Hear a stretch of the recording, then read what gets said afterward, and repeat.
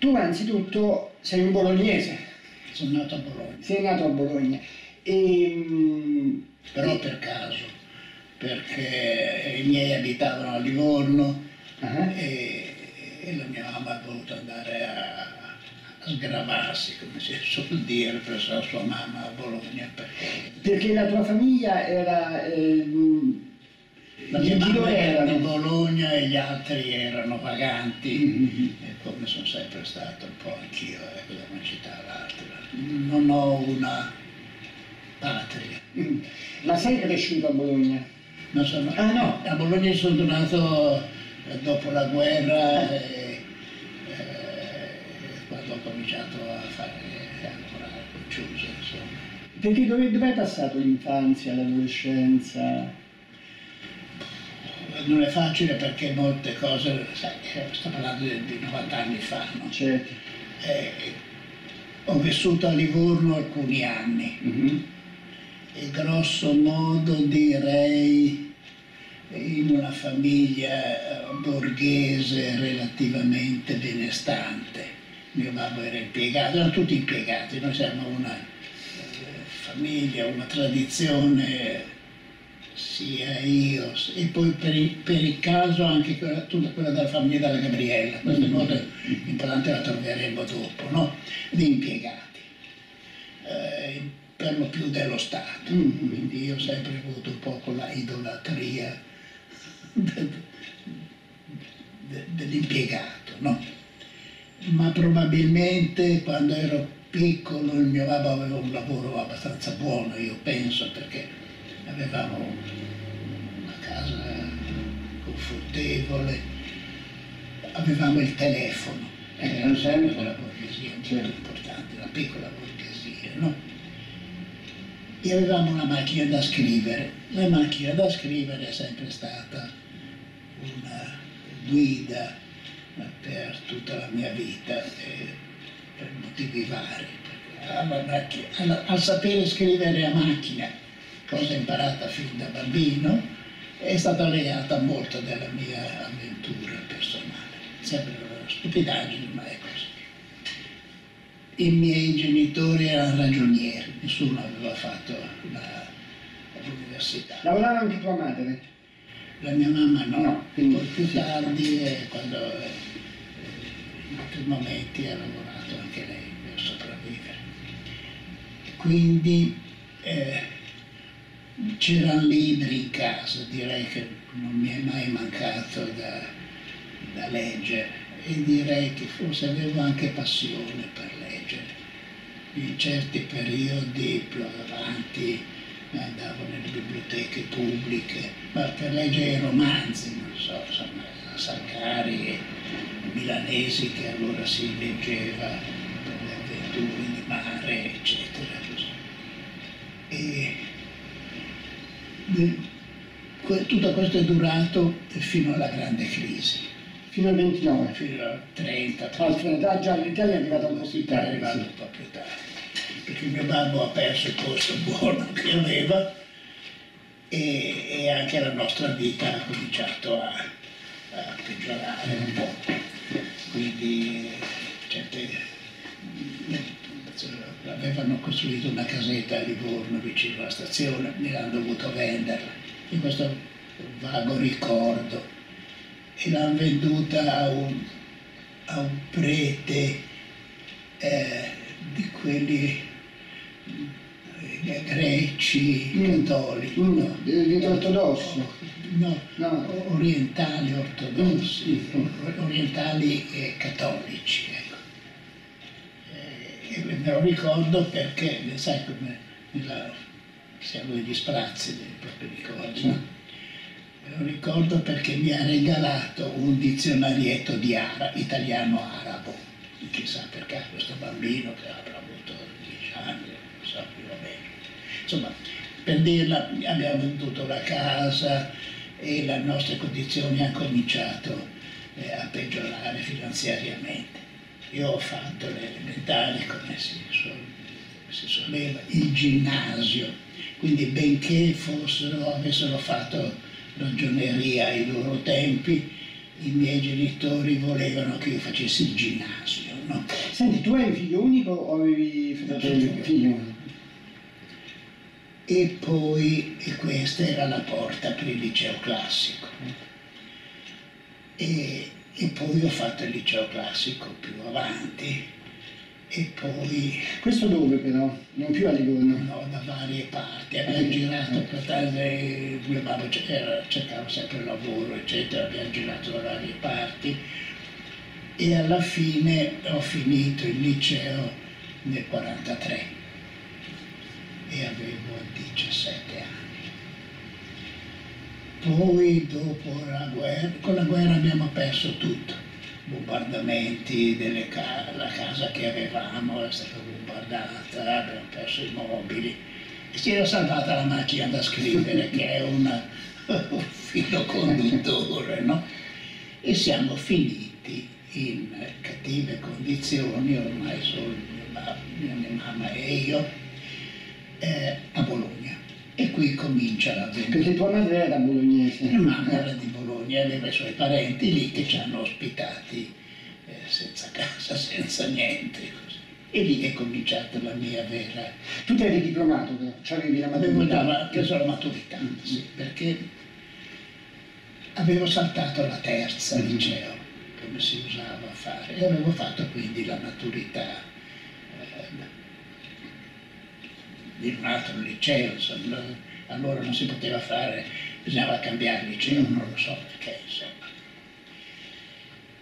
E questa è della mia infanzia, poco, le- un po' di letture. C'erano libri di scuola in casa, questo sì, e libri di lettura varia, ma insomma, direi che era una casa di intellettuali, insomma, no, da piccolo Però, eh, scusami, c'è una cosa che mi ha sempre colpito, eh, che tu hai, hai, hai memoria e hai un buon rapporto con i fumetti.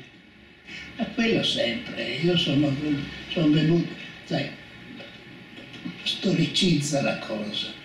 Eh, Nel 36, quando è nato Topolino e ha cominciato a girare l'avventuroso da noi, avevo dieci anni, quindi leggevo già.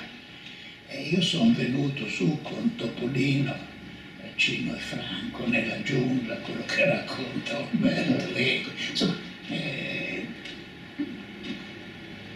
l'avventuroso, che mi ha sempre eh, impressionato moltissimo. Era una raccolta, c'erano vari... Erano, usciva settimanalmente, Eh, c'era una uscita settimanale sia dell'avventuroso, che era pubblicato da Nerbini, mhm. questo me lo ricordo da allora, l'ho ricostruito Sì. dopo, no? sia di Topolino che era pubblicato pure da Nerbini, poi fu preso da Mondadori più Mm. tardi. E quindi questo non so se mi ha aiutato la, la fantasia.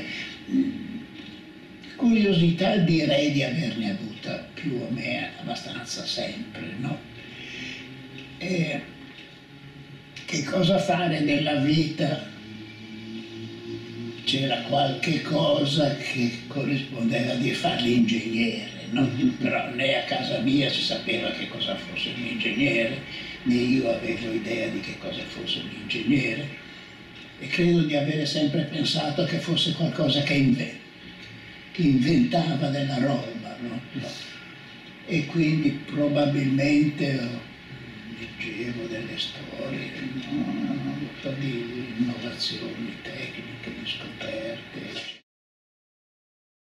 Allora mi dicevi c'era quest'idea vaga da parte tua, inventare delle cose. perché non avevi rapporti con ambienti in cui ci fossero ingegneri, quindi chiaramente era un, più un... direi anche mm, forse non avevo neanche tanta confidenza con i miei genitori. Il mio babbo era abbastanza anziano perché aveva 42 anni quando sono nato io. Quindi quando ero giovane aveva 60 insomma no? amava lo stesso insomma quindi non credo che dalla famiglia mi siano venuti stimoli così. Del ricordo invece, sembra di ricordare, che dopo la guerra, quando hanno cominciato a circolare eh, i giornali americani che non potevo comprare perché non avevo soldi, ma che si trovavano perché i soldati americani li buttavano via, eccetera, mm, Reader's Digest, Ah, sì, eccetera. Lì mi pare di aver cominciato a interessarmi all'invenzione, a qualche cosa di, di innovazione e questo credo che mi abbia mm, accompagnato un po' sempre. insomma. Quindi c'era già da subito un orientamento verso la scienza e la tecnica. Già verso una vaga tecnica, ecco così, sì. E inventare anche perché mh, in quelle nelle condizioni abbastanza modeste in cui ci trovavamo c'era l'illusione di vendere brevetti, no? di vendere invenzioni. Ai ragazzi eh, questo può capitare, no? Eh, sì, tutti, no, non tutti, ma insomma, molti sono passati dal virus dell'inventare la macchina per il moto perpetuo, no? insomma eh, sono cose, però hanno lasciato. E direi che sono uscito dal liceo con la capacità di, di scrivere a macchina, con la capacità di disegnare, ho sempre avuto passione per disegnare e con un briciolo di conoscenza di inglese, cose che mi sono state utili in seguito.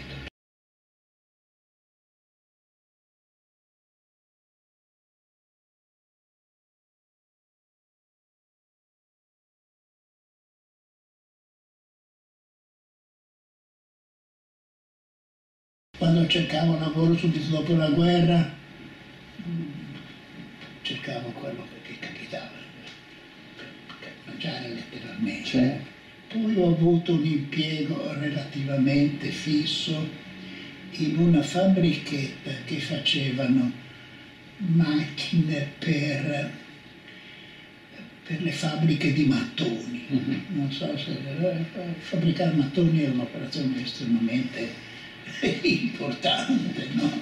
E c'erano de- dei carrelli, c'era un'officinetta meccanica. E lì credo che mi avessero preso mezzo, mi aveva aiutato mia zia a trovare mezzo perché potevo fare un mezzo segretario, insomma scrivere o disegnare, non c'era molto bisogno. O lavorare in officina, poi insomma facevo un po' di tutto. factotum. Fino a quando non ho trovato Ciusa. Ecco, com'è stato l'incontro con Ciusa? Questo è... È stata una cosa abbastanza, questo me lo ricordo abbastanza bene, no, lo ricordo abbastanza vivo. Dunque, questa officina, uno degli strumenti che questa officina faceva erano dei coperchi, metti specie di un, fez rovesciato, Mhm. no? con un manico sopra, che erano molto importanti perché venivano messi su un bu, la, eh, la fabbricazione di mattoni avviene con delle fornaci eh, rotanti in cui i mattoni si spostano da un posto all'altro e, e, la, e varia la temperatura.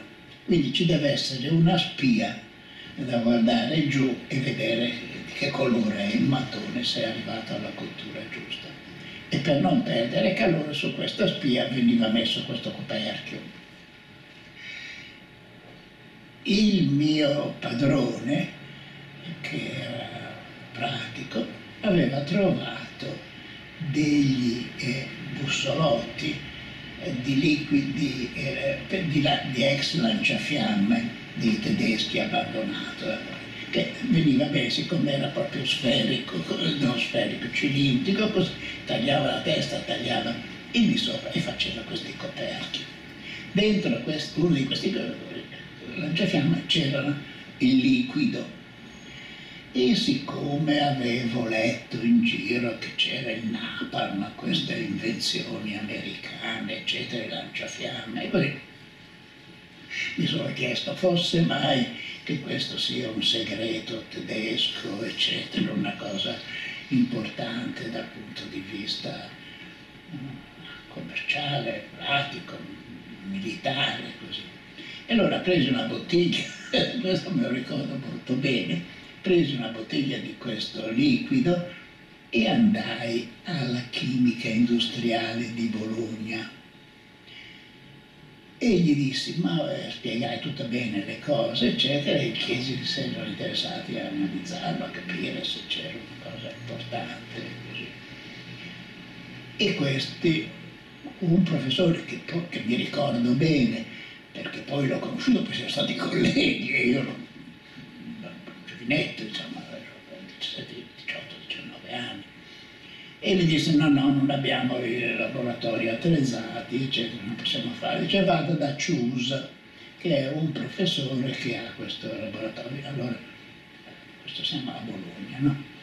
E girando a piedi, cammina, cammina, andai in quest'altro laboratorio che si chiamava di merceologia, io non avevo la più pallida idea di che cosa significasse la parola. Comunque questo professore, che allora aveva 40 anni, e io 39, 40 anni, ne avevo 18, 19, così, e, e disse, mi chiese che chi ero, cosa facevo, gli dissi che lavoravo, che ero molto insoddisfatto in questa officinetta, così dove andato andavano pagavano molto poco, e, e dopo un po' di chiacchiere disse ma sì, farò l'analisi. E come faceva sempre chiusa, perché questo tipico suo, naturalmente non aveva nessuna intenzione di fare l'analisi e diceva torni fra 15 giorni. Solo che la sventura gli toccò perché io dopo 15 giorni sono tornato e poi sono tornato ancora dopo 15 giorni e poi non mi ricordo se ha mai fatto l'analisi, comunque era petrolio, catrame o nafta, roba di questo genere, così. E comunque mi disse che cosa facevo, che cosa studiavo, studiavo ingegneria, che avevo difficoltà anche economiche così, e disse vabbè, e la prendo, mi dava del lei, io mi davo del lei, e ci siamo dati del lei fino a quando non sono andato in cattedra. Siamo vissuti 12-13 anni e 14 ore al giorno insieme, ma ci siamo sempre dati del lei. E, e se, se, la prendo io come mi aiuta come segretario, poi fa delle traduzioni e così, perché allora c'era la fortuna che poca gente sapeva l'inglese perché la generazione precedente alla mia era stata educata col tedesco. E quindi disse, ah sì sì, dice, le do la stessa paga e che le dà a questa officina e me la dava con suo stipendio personale. E quindi a cosa dice nel completo? Dice tempo libero lei studia, le do, mm. metto, faccio, uno stanzino e lei lavora, lei studia e poi lavora qui da me. Ed è cominciata così questa... Questo in che anno era più o meno? Quando, quando è che hai incontrato lui? Subito, immediatamente dopo la guerra? 43, 44, 45, 46 nei tuoi vent'anni. Eh, e quindi ecco, cioè, e questa è stata la, la svolta fondamentale. Nel frattempo avevo conosciuto la Gabriella. Mm -hmm. Ma lei stava a Bologna anche? Lei stava a Brescia. Ah. E avevamo cominciato a scriverci. Mm-hmm.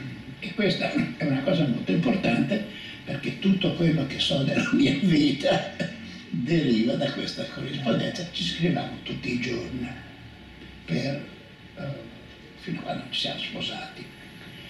Poi dopo che ci siamo sposati, ogni volta che ci separavamo e che avveniva abbastanza spesso perché io andavo a Bari e lei stava a Bologna, successivamente, no? Poi io andavo in giro e lei stava a Bari, andavo a Roma e lei stava a Bari e così via, e lei poi stava a Roma, io stavo a Bari e, e quindi c'è un blocco di corrispondenza attraverso il quale è l'unica fonte che io ho per sapere del mio passato. Va bene, dove siamo arrivati? Alla, a Chiusa. Che cosa faceva? E arrivo qua non sapevo niente, sapevo più o meno di chimica, si mi divertivo a disegnare le formule che trovavo sui foglietti dei medicinali, perché erano dei disegni bellini così.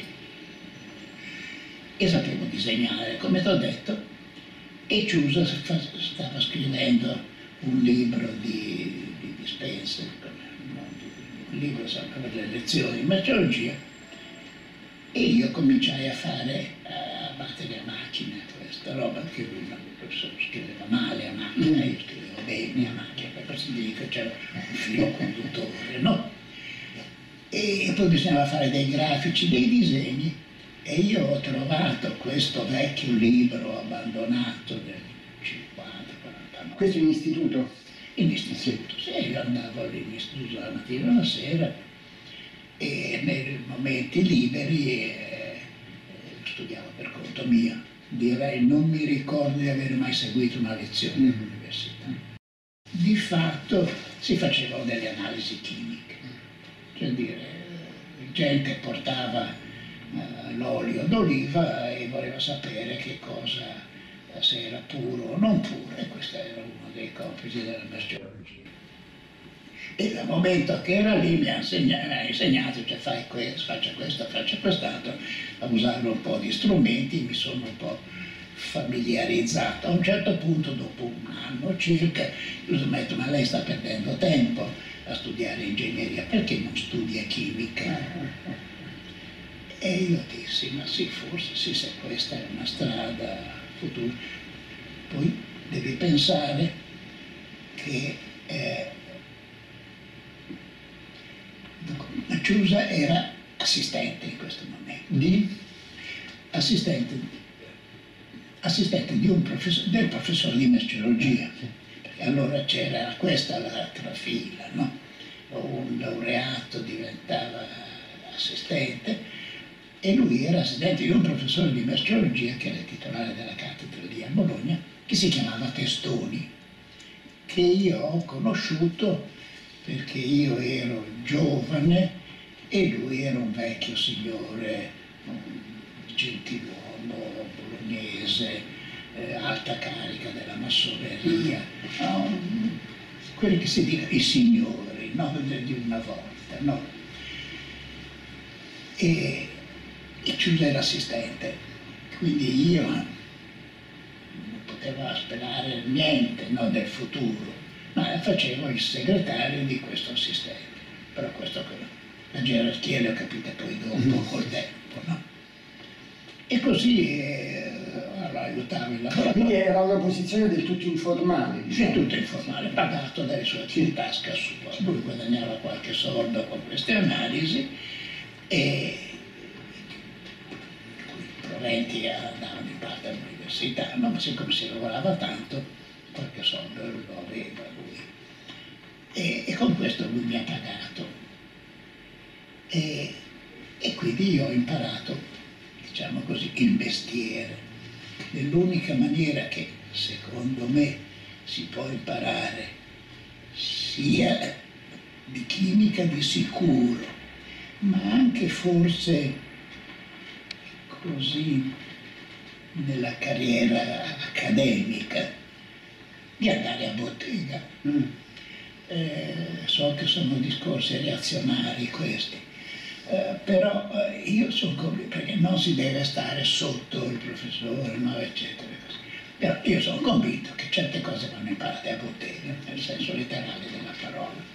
Imparare a bottega vuol dire che per esempio, siccome lui mi faceva scrivere le lettere, io ho cominciato a capire che certe persone bisogna chiamarle caro Luigi, che certe persone bisogna dire eh, professore, che certe persone bisogna dire illustre professore e che le lettere si concludono dicendo cari saluti oppure rispettosi saluti, eccetera. Insomma, piccole stupide cose che però poi nella vita no, mi sono servite in quel mondo vecchio che è scomparso ormai, credo, del tutto, ma in cui c'erano dei rapporti gerarchici, eccetera. C'era il professore, la facoltà, gli assistenti, eccetera. E io ero, essendo, non essendo laureato, essendo l'ultimo di tutti, c'erano anche gli altri giovanotti che aspiravano a diventare assistenti, eccetera. Io ero quello che non contava niente, però servivo, mentre gli altri pensavano alla carriera, io non avevo nessuna aspirazione servivo a far andare avanti la baracca e a aiutare Giuse.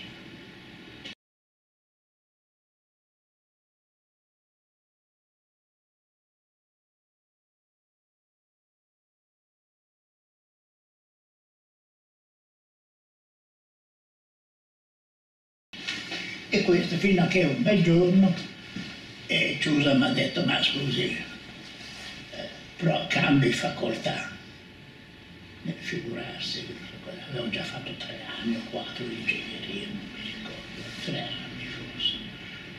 E allora mi ha detto, mio padre è a Bari, professore di chimica e dice vada là e vedrà, insomma, forse è più facile laurearsi, eccetera. Perché c'erano delle difficoltà, nel, ehm, più facile in che senso? E, per esempio si poteva non seguire, sai, ah. eh, allora diceva deve fare la firma di presenza, eccetera. Se tu avevi un professore che ti diceva sì le faccio l'esame purché lei sappia le cose, e io le cose le sapevo perché lavoravo in laboratorio, sì. no? Certe cose le sapevo più dei, dei, dei professori, però non avevo seguito le lezioni, eccetera. Insomma, sta di fatto che lentamente, eh, andando avanti da Bologna a Bari, eh, dove vive... Quindi è stato anche un sacrificio. Accidenti. Eh. Sacrificio di soldi, sacrificio di scomodità, perché si trattava di andare in camere mobiliate di, di basso rango, là, stare lì, seguire un po' di lezioni fare gli esami, poi tornare indietro. Insomma, sta di fatto che eh, in questa maniera mi sono laureato nel 49, nella fine dell'anno del 49. Quindi diciamo anche in tempo, nel senso che... 5, 6 eh, anni. Sì, cioè hai fatto una carriera giusta. Perché ho recuperato alcuni esami di ingegneria che avevo fatto, avevo fatto uh, chi, delle chimiche, le matematiche, la fisica, quindi quelli mi erano tornate buone per gli esami. Insomma, sta di fatto, mi sono laureato. Nel momento in cui mi sono laureato, ho avuto la fortuna che Ciusa ha vinto il concorso a cattedra. È diventato il titolare? Era diventato il titolare a Bari. Ah, ok perché il concorso era stato bandito da Bari. C'era una, una, di queste relazioni di dipendenza tra Bologna e Bari? Ma sì, perché il padre era lì, quindi avrà detto ma banditemi il concorso per mio figlio sì. all'economia e commercio. Ah, all'economia. Chimica, cioè oggi si insegna l'economia e commercio. E insomma gli hanno bandito il concorso, ne avevano bisogno perché c'era il professore che stava andando, che era andato in pensione anche lì a Bari, no? il titolare e lui l'ha vinto. Vuole la sorte che prima di fare, di fare questo concorso di merceologia lui Chiuso ne avesse fatto un altro o due, non so, di chimica analitico, di chimica biologica, perché se si interessava di queste cose qua. E vuole il caso che la preparazione di questi concorsi fosse nelle mie mani, ragione per cui io ho imparato come si fa il concorso. In che senso, cioè dal punto di vista burocratico? Dal punto di vista burocratico, eh, come vanno fatti i banchi delle pubblicazioni, eh, sì, sì. come vanno numerati, come si va in tipografia a fare le bozze prima che il lavoro sia stato pubblicato, è caldo, è freddo. No, no, so bene. Prima che il lavoro sia pubblicato, eccetera, come si fa a scrivere, per piacere mi mandi le bozze, per piacere mi mandi gli estratti, me ne mandi 25, eccetera, quando si mettono nei vari pacchi, eccetera. Tutte operazioni che non so se si fanno più, so, forse probabilmente no. Questi ultimissimi anni no, fino a un po' di anni fa io le, le ho fatte ancora. Ecco. Eh, insomma, allora era una liturgia vera e propria, cioè, no, con certe regole ben precise. Poi sapevo che Ciusa andava dai futuri, dai possibili commissari e si presentava, ci si presentava, si diceva io intendo concorrere a questa cosa. Questo l'ho fatto anch'io dopo, più avanti. E uno diceva ma no, ma guardi, non è ancora maturo, eccetera, eccetera. Insomma, tutte una serie di operazioni di un mondo scomparso probabilmente, ma che allora era il mondo dell'accademia. Quando sono entrato io, forse anche quando ho vinto il concorso, erano 3.000 professori mm. di ruolo, no? E quindi era una specie di, così, di, di gruppo, ecco, né bene nel male, no? non lo so se era e ci si conosceva, insomma, poi nei congressi si andava, un, si assistente giovane presentava i lavori che i suoi futuri commissari ascoltavano, criticavano, eccetera, così.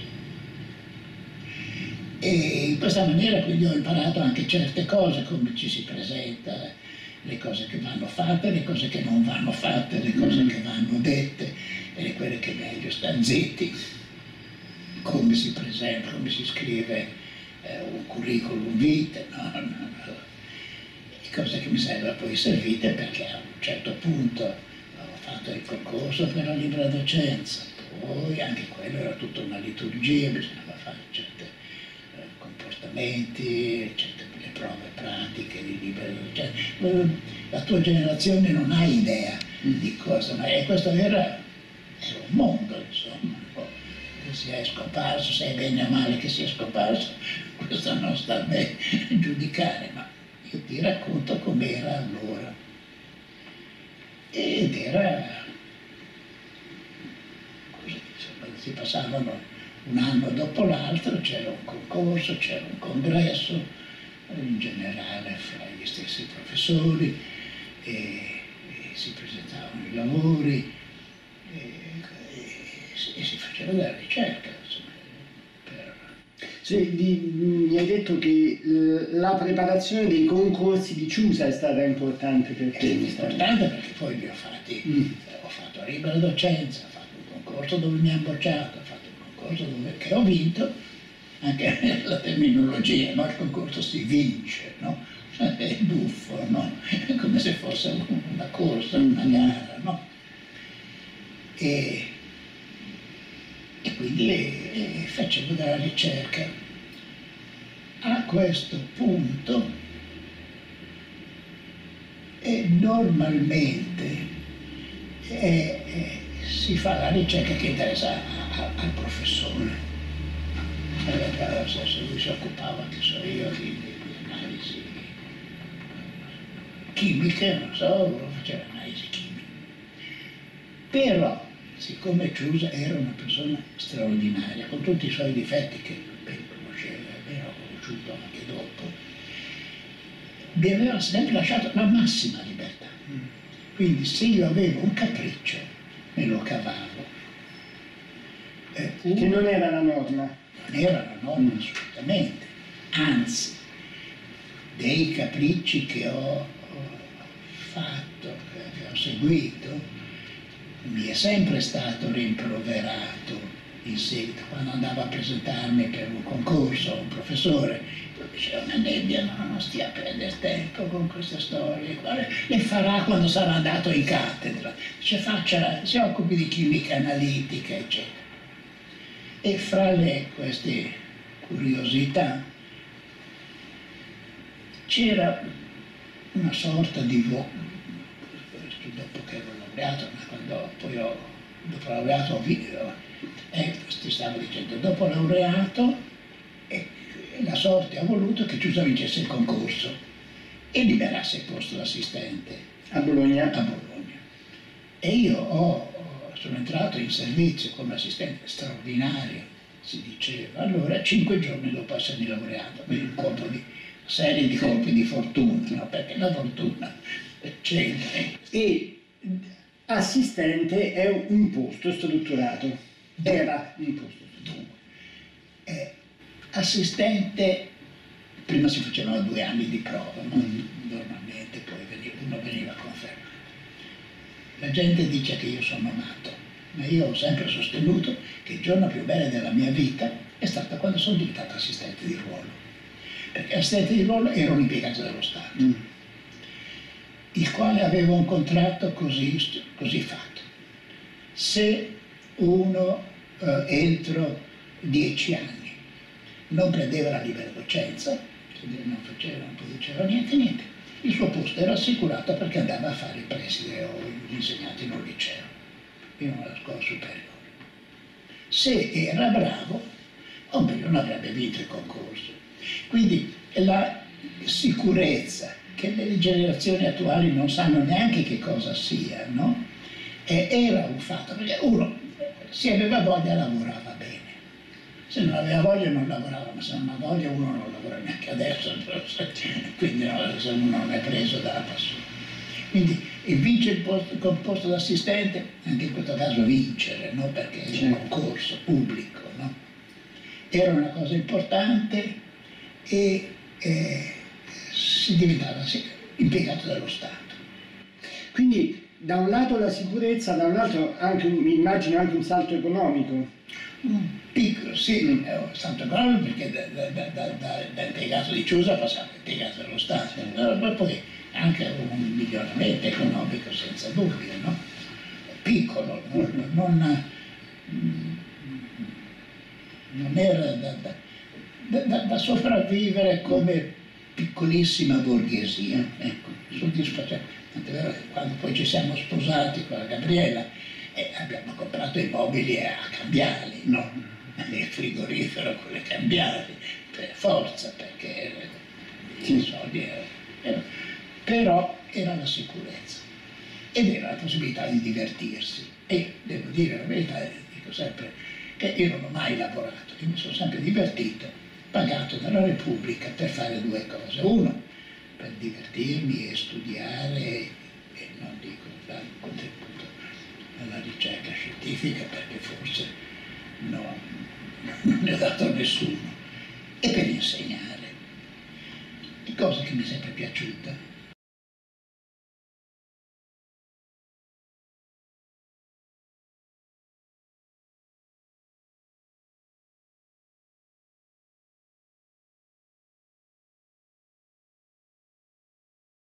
tu hai, hai, hai, parlato spesso di un mondo che sta perdendo importanza, che invece era il mondo de, de, della, della, ricerca su delle bibliografie.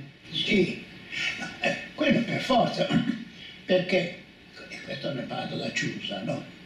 La prima cosa che uno doveva fare di qualunque cosa si occupasse era andare a vedere che cosa avevano detto gli altri.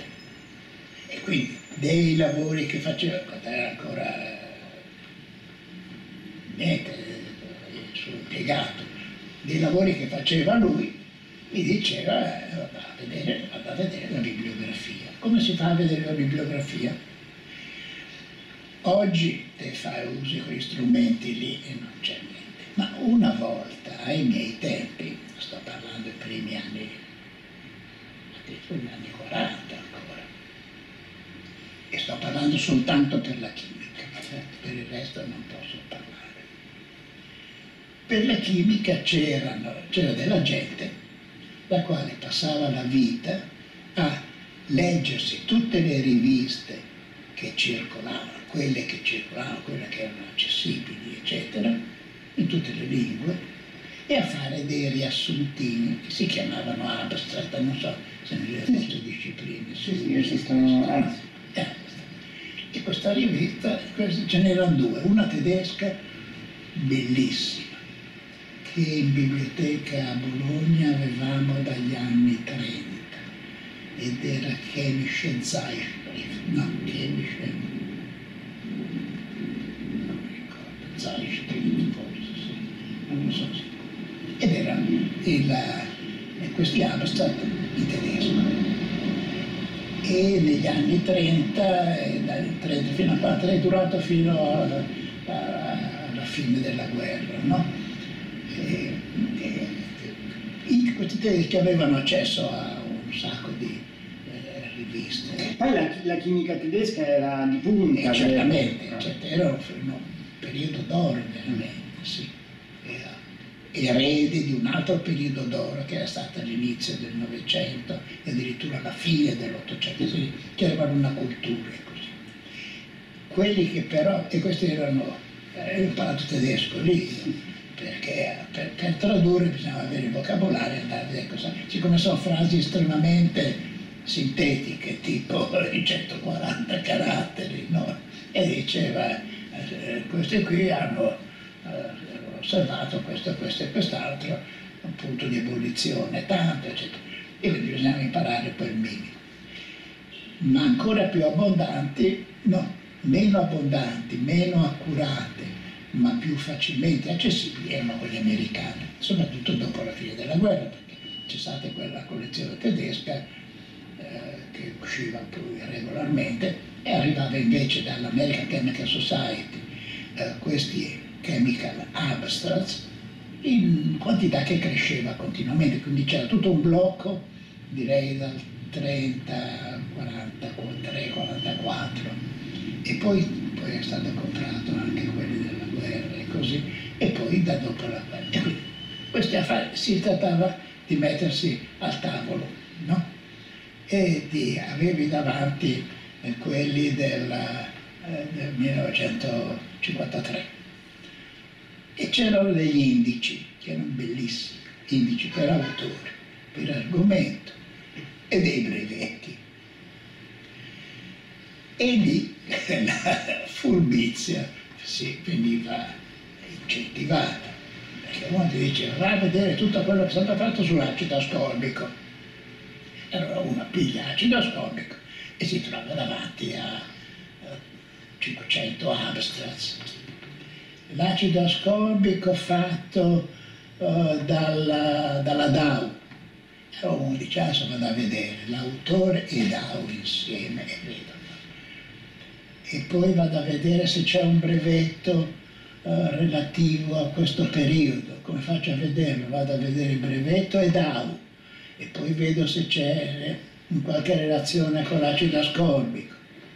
E poi i, trovate i brevetti, no, trovate gli articoli, trovate gli absent, bisognava scriverli. Io avevo quaderni e quaderni pieni, e, oh, fogli scritti a macchina, le cosiddette schede. Sull'acido ascorbico bisognava fare le schede, quindi tutto, imparavi, conoscevi il mondo, mm. conoscevi le persone, dicevi, ah guarda, quello lì... Uh, Yellowt, eh, e che è poi quello che era a l'anno scorso, eh, perché c'era, era fatto benissimo, c'era il nome Giorgio Nebbia, Paredes Università di Bari, poi il titolo della rivista, pagine iniziali e pagine finali, un breve titoletto e un breve abstract sotto. Quindi a poco a poco uno diventava amico di tantissime persone che non aveva mai visto e non vedrà mai nella sua vita, ma che erano parte della sua vita. E questo secondo me era la storia, sapere che cos'era successo prima. E siccome con un poco di fantasia e con un poco di pazienza tu riuscivi ad andare indietro a lungo, e ciascuno raccontava quello che avevano fatto i precedenti. Come facevi a... Eh, riconoscere quello che aveva scritto ciascuno, periodi in cui non c'erano soldi, in cui era difficilissimo avere rapporti, in cui era anche scomodo andare in altre biblioteche, eccetera, eccetera. E allora mi aveva insegnato che c'era un sistema formidabile che era le, i cartoncini con richiesta di Armstrong.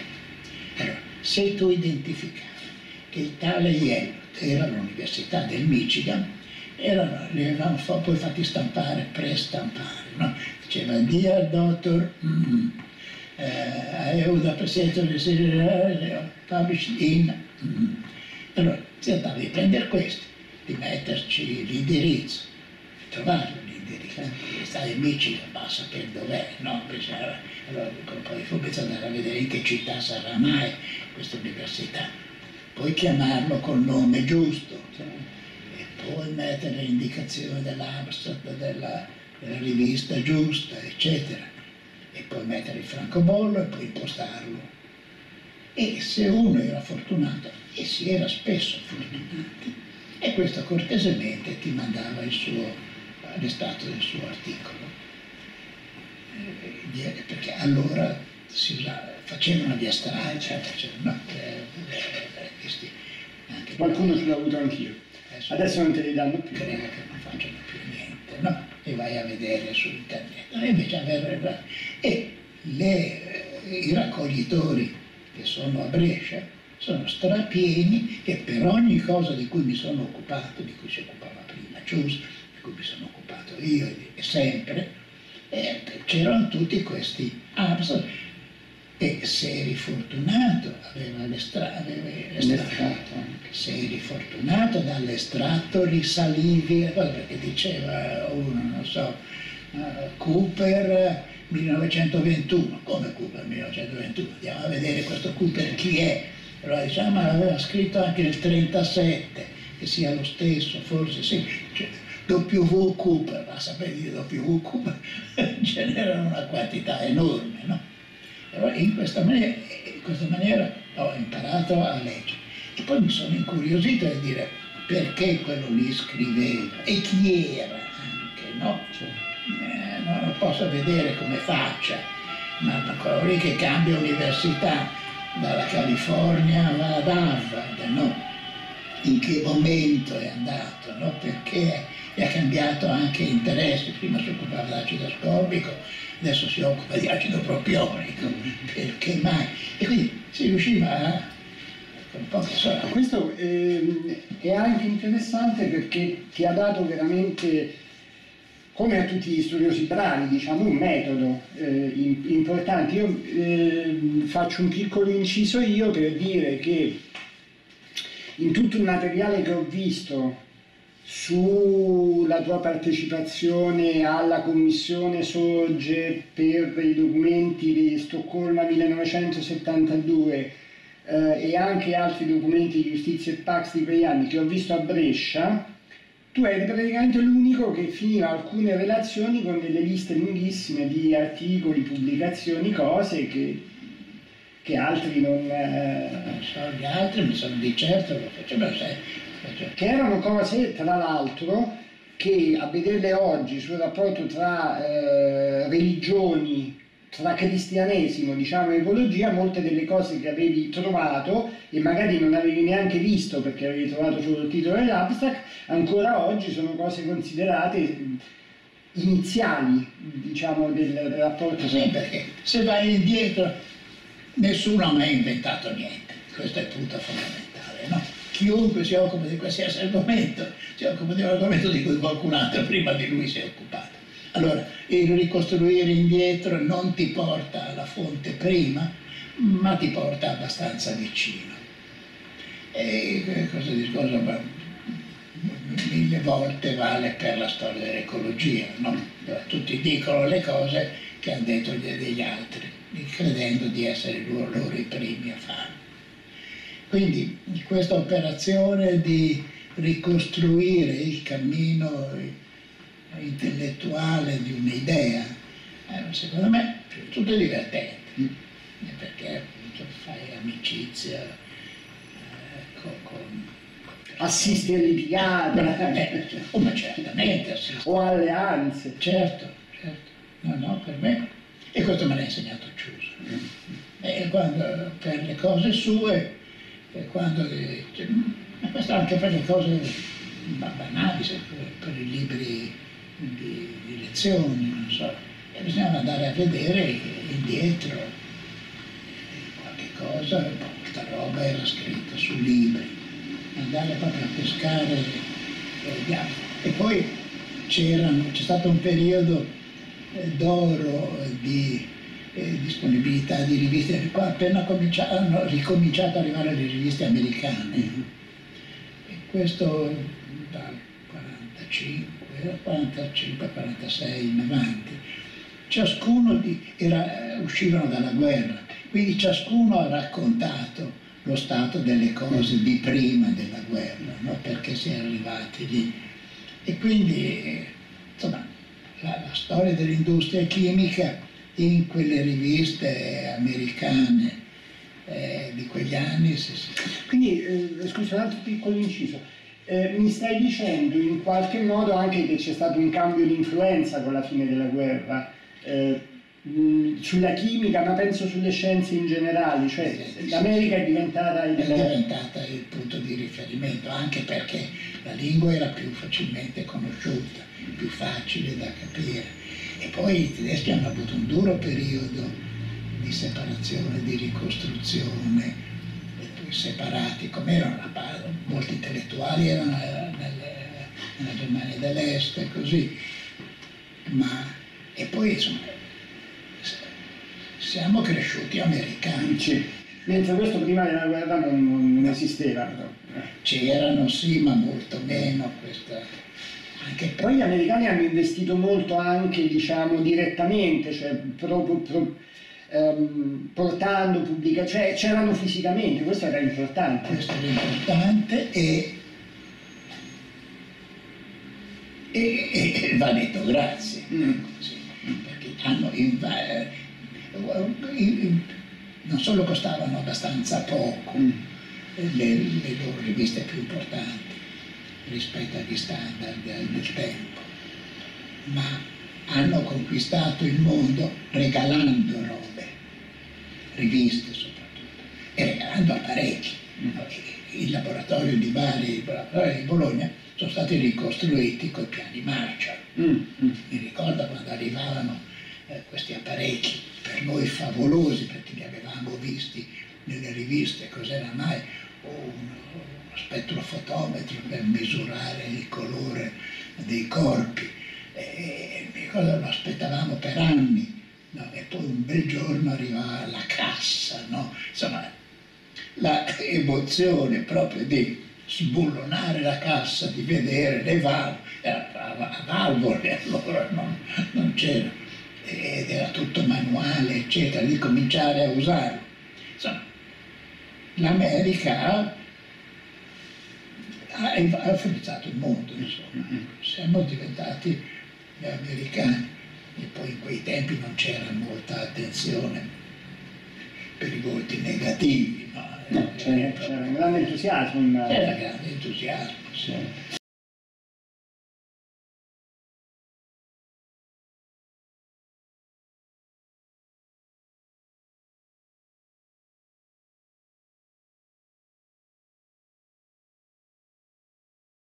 Più che insegnare, io raccontavo cose. Mm. E siccome la merceologia era proprio fatta per questo, perché si raccontavano cose, eh, si raccontava come si fa il ferro, come si fa l'acciaio, da dove viene il carbone, come si muovono, eh, come si fa a fare la pasta. Eh, con l'esercitazione si faceva proprio eh, la pasta con lievito, si faceva vedere questa è la meraviglia di questo eh, impasto che con lievito si rigonfiava, no? Insomma, queste erano le esercitazioni di laboratorio, la distillazione del vino, eccetera, eccetera. E queste cose si raccontavano. E in queste cose Ciusa aveva una attenzione particolare per la storia. Già Ciusa. Sì. Se, si, se si leggessero le dispense i libri di, di allora, c'era proprio per esempio le, le, le, varie maniere per ottenere lo zucchero e perché si facevano concorrenza alla canna e alla barbabietola e come la barbabietola, eh, lo zucchero di barbabietola ha rappresentato una rivoluzione tecnico-scientifica e culturale, no? e queste cose le raccontava, le diverse maniere di fare il ferro. La, come le diverse maniere di fare il ferro e l'acciaio si facevano concorrenza fra loro, perché un certo tipo di tecnologia si è sviluppata per poter utilizzare le ghise fosforate dei minerali della Lorena eh, che erano stati eh, catturati eh, da, da, nella guerra fra, del 70 fra, fra, fra Francia e Germania. No?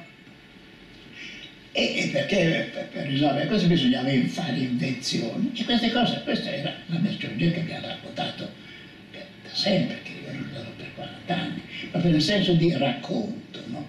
In, questo, in queste condizioni anche raccontare lo zucchero, raccontare la, la gomma, no? per esempio appunto tutte le storie della gomma eh, erano la storia in Brasile, eccetera, come portare via eh, dal Brasile i semi eh, della pianta della gomma per coltivarli altrove. No, questa era la storia e questa, e questa è la merceologia che ho, che ho sempre raccontato per tutta la vita. De, della quale sei in, in parte cioè, notevole debitore a Ciusa, diciamo così. Sono debitori a Ciusa senza eh. sia per la manualità, mm-hmm. sia per, la, per, questo aspetto storico. storico, culturale della disciplina, no? e sia anche, come ti ho detto, per la, la, l'insegnamento di, di, di, di un comportamento che allora era un valore, aveva. Senti, Ciusa eh, costituiva un po' un'eccezione o era nella norma dei, dei merciologi? Eh no, era un'eccezione. In che senso? Questo è importante. Io sono venuto su con una generazione di professori, hai caldo? No, no, no, certo benissimo. Con una generazione di professori di merceologia, uno dei quali si vantava di riuscire a fare tre lezioni sulle noci di Sorrento.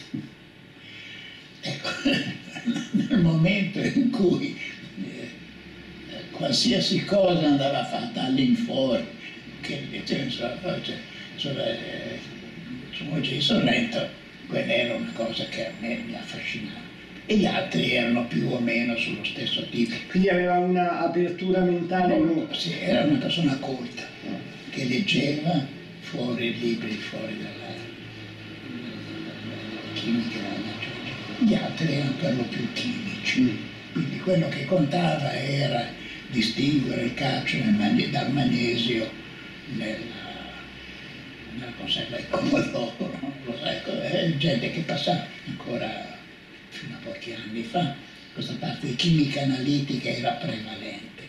Poi anche questa è scomparsa per motivi che emergeranno poi nel seguito.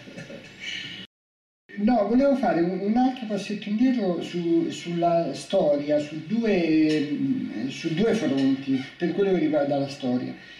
Una cosa me l'hai detta ed è Ciusa. Uh, un'altra cosa uh, è, um, è, Gabriella, perché uh, lei è, è, è storica era laureata in lettere, però... ed era una persona intelligente. E aveva fatto degli studi, aveva fatto buoni gli studi, mm-hmm. aveva fatto alla Cattolica, poi si era venuta a laureare a Bologna mm-hmm. e si era laureata in storia del risorgimento e aveva fatto la tesi sul Dipartimento del Mella eh, nel Regno Italico, in quel dal 5 al 15 grosso modo. No? E io un pochino avevo, la seguivo, eccetera. E poi c'erano problemi che, che, che, riguardavano me, perché lei, eh, nei, nei documenti d'archivio, lei trovava la gente che moriva di fame per la pellagra. E, e perché mangiava mais mm. e io sapevo perché mangiando mais si muore di pellagra, no? perché manca gli amminoacidi, eccetera. E parlava di fiumi, e parlava di commerci, perché eh, seppure era un dipartimento relativamente piccolo, il bacino idrografico eh, del Mele intorno a Brescia, Bresciano, Bergamasco, eccetera, e c'era la questione di miniere, eccetera. E allora poco a poco ci siamo appassionati, ci siamo incontrati con questi interessi, insomma, lei poveretta non si è mai considerata una storica mm-hmm. perché non aveva, però aveva una passione e una curiosità per gli aspetti storici che era enorme. E poi a poco a poco andando insieme, vivendo insieme, questo si, si, si, si moltiplicava. E poi in quegli anni lì, Malthus forse viene qualche anno dopo, no, in quegli anni lì ci eravamo incapricciati di un altro capriccio. E, e lì la, il ruolo della Gabriella è stato determinante.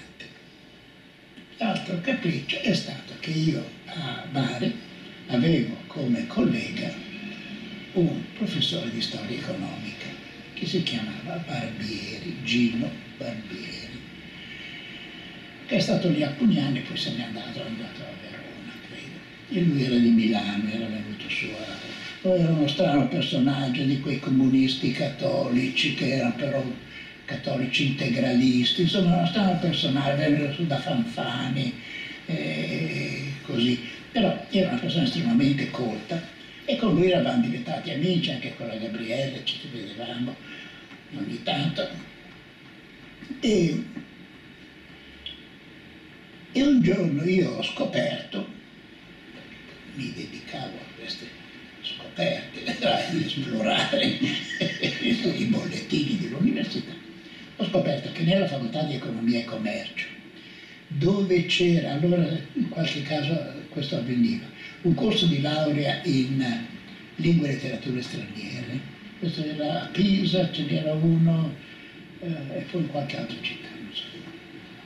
E vado a sfogliare e, trovo, e scopro che in questo corso di laurea di, di lingue e letterature straniere c'era un corso di storia del commercio con l'Oriente. Commercio con l'Oriente, questa è roba mia. E allora, eh, siccome Barbiere era un po' lo storico di, tutto, di tutti. Dura ancora? Sì, sì. E io ho detto, te lo faccio io questo corso, ma se non lo fa nessuno è silenzioso, lo faccio io e faccio eh, la storia delle merci, oggetto di commercio. C'è un bellissimo libro che tu conosci, eh, Eid, storia del commercio con Levante nel Medioevo, che ha le ultime 300 pagine. Che è dell'inizio del Novecento. Che è dell'inizio del, della fine dell'Ottocento. Un grosso volume. Un grosso volume pubblicato nella Biblioteca dell'Economista. E poi c'è una traduzione francese, eccetera. E le ultime 300 pagine sono pagine di merceologia. C'è l'ambra e cose. E allora ci siamo incuriositi e e abbiamo detto ma eh, scriviamo qualcosa su questo. E abbiamo cominciato a scrivere, lì è essenziale perché era tutta la roba in latino che io leggevo con difficoltà, in greco e così, e poi c'era proprio la, la parte storica vera e propria perché si importava ambra dal Tagikistan, che so io, e bisogna andare a vedere dove è il Tagikistan, chi c'era allora. E, e, ho scritto anche qualche cosa. No, e poi per dargli un eh, sapore merceologico, io andavo a cercare le frodi, che in queste 300 pagine dell'Eid, e poi andarci a leggere Plinio e andarci a leggere altre fonti, eccetera, e dico scorride, tradotte, ma eh, sono libri di merceologia Certo. Esattamente, dice, ma non state attenti, no? E a poco a poco alcune fonti eh, arabe e greche tradotte però, no? E dice, state attenti, migliore lo zucco di Bambellonia, state attenti che quando il pane non deve avere il fondo sporco perché allora non hanno lavato bene eh, il il, il cono in cui versare lo zucchero. State attenti che il pepe eh, deve essere quello di, di, di Manavare buono, eh, non, però è sofisticato da quello dell'Indocina. E quindi poco e poco che avevo fatto sulla gomma, un poco questo, e lì abbiamo lavorato tanto, ci siamo divertiti senza fine. Io ho scritto anche qua. Sì, è bellissimo, anche me piace. È, è un campo di cui nessuno si occupa, l'aspetto merceologico, no? perché tanta gente fa, eh, studia storia con l'Oriente, eccetera, la via della seta, eccetera, eccetera. Ma pensare che questa gente si portava dietro i sacchi e col sale, no? E perché il sale c'era sul Caucaso e non c'era in Grecia, che so io, per dire, e poi diversi metalli da dove venivano, ci siamo divertiti senza fine. Mi ricordo nel 61, mi pare, sì, che avevo appena, aveva poco vinto il concorso, e c'è stato un congresso di merceologia a Bari. E, sì, da Bari era un po' molto ricordo perché invitammo poi a casa, avevamo la casa appena presa in affitto, quindi insomma ci tenevamo un pochino, anche la Gabriele ci teneva, e abbiamo invitato i miei colleghi a casa, poi siamo andati, eh, stati insieme, un primo congresso di merceologia che abbiamo fatto a Bari. E mi ricordo che negli atti c'è un articoletto in cui sulle frodi l'antichità, il Medioevo. Che eh, se non ricordo male queste cose le firmaste insieme. Alcune cose poi le abbiamo fatte insieme, sì. Anche dopo, sì, sì. sì. Che è stata, poi quella con Gabriele è stata al di là del sodalizio affettivo anche intellettuale forte, perché anche i primi anni 70 avete fatto... Ci divertivamo senza fine, eh, perché appunto ci scambiavamo le cose, ridevamo sulle, sui piccoli vizi che incontravamo nel, nel, nel mondo, diciamo così, culturale, eccetera. Ma no, è stata una cosa per me bellissima, insomma, no? E poi appunto per le altre cose le abbiamo fatte insieme. Eh, lei ha tradotto, ha tradotto il primo saggio sulla popolazione di Malthus. Eh, poi la, che fu pubblicato dalla terza, è quello del 98 che era inedito, era anonimo, no? Insomma, e, e, poi ha fatto altre traduzioni, insomma, ma, eh, ci divertivamo, vivevamo molto intellettualmente insieme. Poi insieme abbiamo fatto una storia. Sai, poi eh, io mi vergogno di usare il termine storia perché era un po' cronachette, no? Mm-hmm. ci siamo detti più volte anche in passato, eh, sulla, sulla, bilancia, no? la bilancia come mezzo per svelare le frodi. No? E lì si trattava di prendere su buona pazienza. E poi abbiamo fatto una storia della, della dissalazione, però l'abbiamo fatta, era molto divertente. E lei andava lì in biblioteca, passava le sue ore, andava a vedere cosa diceva Dioscoride, va a vedere lei, prendeva giù tutti gli appunti e poi messi insieme saltava fuori racconto, insomma, no?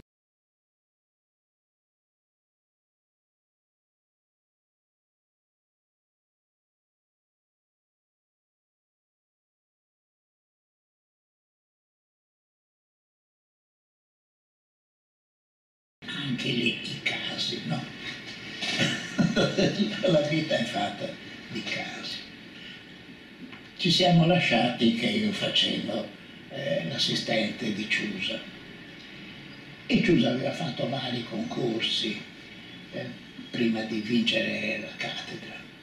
Quando lui ha vinto la cattedra, che io ero assistente da un anno, no, coincideva quando sono diventato assistente. Insomma, a un certo punto gli hanno vietato di tenere la cattedra di Bologna se lui era di ruolo a Bari. E allora per un anno ho avuto l'incarico a Bologna. Quando lui da, Bolo- da Bari è tornato a Bologna, è rimasto scoperto il suo posto a Bari. A Bari. E Chiuso mi ha detto, vuole andare, vuole andare lei giù? E io ho detto, sì, certo. Ma erano gli anni appunto della, della, della dissalazione. Io ne avevo approfittato subito per portare alla fiera del Levante i distillatori che avevo costruito, poi ne aveva parlato la Gazzetta del Mezzogiorno, quindi ero diventato l'uomo. E poi lì eh, Bari eh, aveva anche più importanza che a Bologna una cosa. Eh, certo, anzi, sì, sì. C'è tutta la zona delle saline, cioè c'è tutto un uh, sì, poi, mondo. Poi uh, gli anni anche, in cui abbiamo anche abitato a Bari, eh, l'acqua eh, era razionata. Mm dava alcune ore all'anno, al giorno, no, no, avevamo il serbatoio sul tetto, no? l'autoclave, come si diceva, ma quindi il problema dell'acqua lì era veramente caldo e quindi è stato abbastanza facile eh, avere ascolto dalla buona gente, ma naturalmente non dall'acquedotto pugliese che non aveva nessun interesse a avere qualcuno che gli dicesse come fare meglio le cose che e li facevano malissimo. Allora, eh, ti ho detto, per, per due anni fatto, ero assistente a Bologna ed ero incaricato a Bari per due anni ho fatto avanti e indietro. Nel frattempo ci siamo sposati con la Gabriella, poi è nato Mario nel 50, ci siamo sposati nel 55, nel 56, insomma, dopo Bari non aveva nessuna intenzione, sembrava che non avesse nessuna intenzione di bandire il concorso. E allora io ho detto, sentite, no, eh, io sono stufo, me ne torno a Bologna, faccio il mio assistente, faccio l'assistente con tutta calma, eccetera. Eh, Gabriele e Mario erano già a Bologna, eccetera. La tireremo un poco ma meglio che fare questo lavoro massacrante avanti e indietro. Poi a un certo punto Mari si è trovata scoperta, aveva bisogno di coprire la casa dell'emergenza e ha bandito il concorso. E allora un po' quel concorso lì era un po' per me, insomma, in un certo senso. Lo sai come avvenivano le, i concorsi allora? Non dimmelo. Sì che lo sai, lo fai ripetere. Va bene, lo ripeto lo stesso. Perché era estremamente interessante. C'era una facoltà che bandiva il concorso e c'era la, e la commissione che era fatta di cinque professori di ruolo era eletta eh, con una votazione, una votazione che era fatta fra gli stessi professori e pochi altri di chimica analitica, per cui non dico che si poteva avere una commissione favorevole, insomma si poteva dire guarda, orientata, orientata insomma anche fra, fra di loro dicevano guarda eh, ti metto a posto Nebbia quest'anno e, e, e l'anno 21 facciamo il concorso a Genova, non lo so per dire. No? Allora, questo concorso consisteva nel fare i pacchi delle pubblicazioni e a differenza della libera docenza dove c'era una prova pratica, era solo per titolo. Quindi tu non l'hai fatto, l'hai saltata completamente la libera docenza? No, no, l'ho fatta. Ah, l'hai fatta, ecco. La libera docenza, un concorso che mi hanno bocciato e un concorso che ho vinto. No, ho fatto tutte, tutte le cose. Il concorso di ammissione come assistente, eccetera. non li ho fatti tutti. Era bella la libera docenza, molto divertente.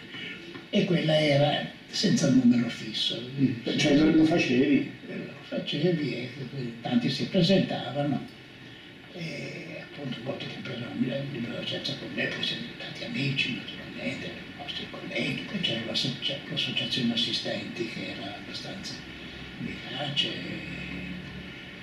sindacalmente, no, era molto divertente.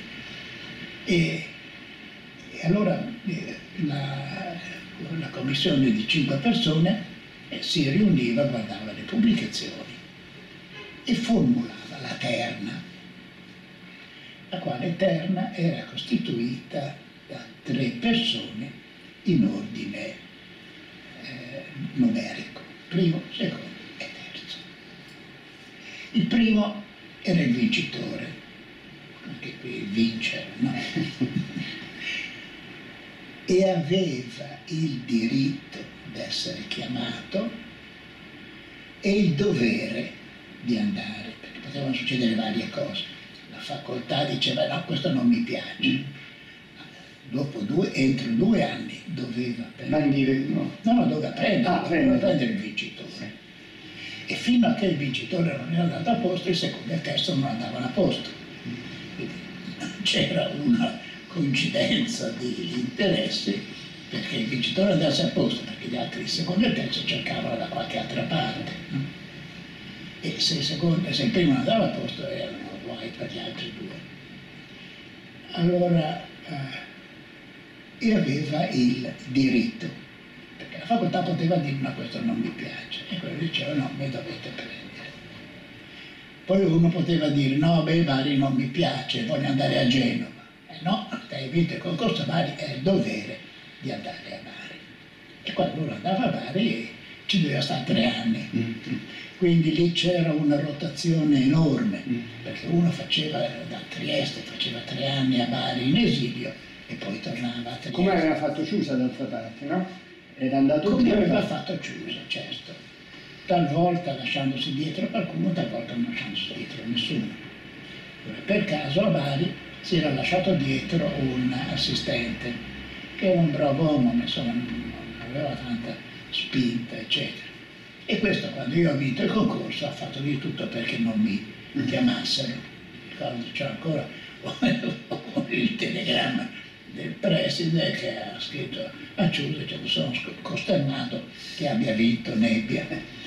E però insomma dopo due mesi mi hanno chiamato, mi hanno poi siamo diventati anche amici con questo qua, quindi io ho abbastanza buoni rapporti anche con i miei colleghi, sia assistenti sia professori.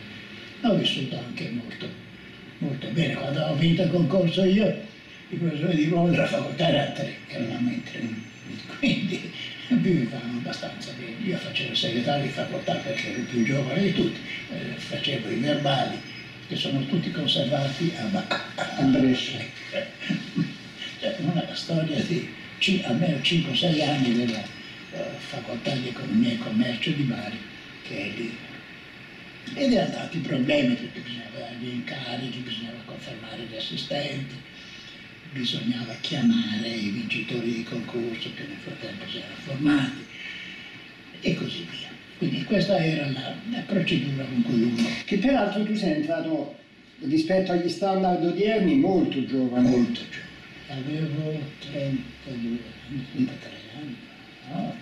ma sono stato straordinariamente fortunato e questa storia non è una storia comune, normale, normale. non è una fortuna, non dico che non certo per, per, mio merito, ma perché a un certo punto si, si formano delle coincidenze, se uno va in cattedra e lascia libero il posto, non è colpa mia.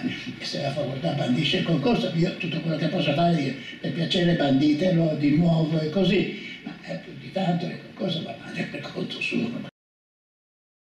In mezzo minuto ti racconto una storia che forse non, eh, non so se te ne avevo mai parlato, è quella del giuramento. Mm-hmm. Te l'avevo raccontato? No. Gli impiegati dello Stato quando erano assunti, e questo anch'io quando sono stato all'università, giurano. E c'è una forma e giuro fedeltà di compiere fedelmente il mio lavoro, eccetera.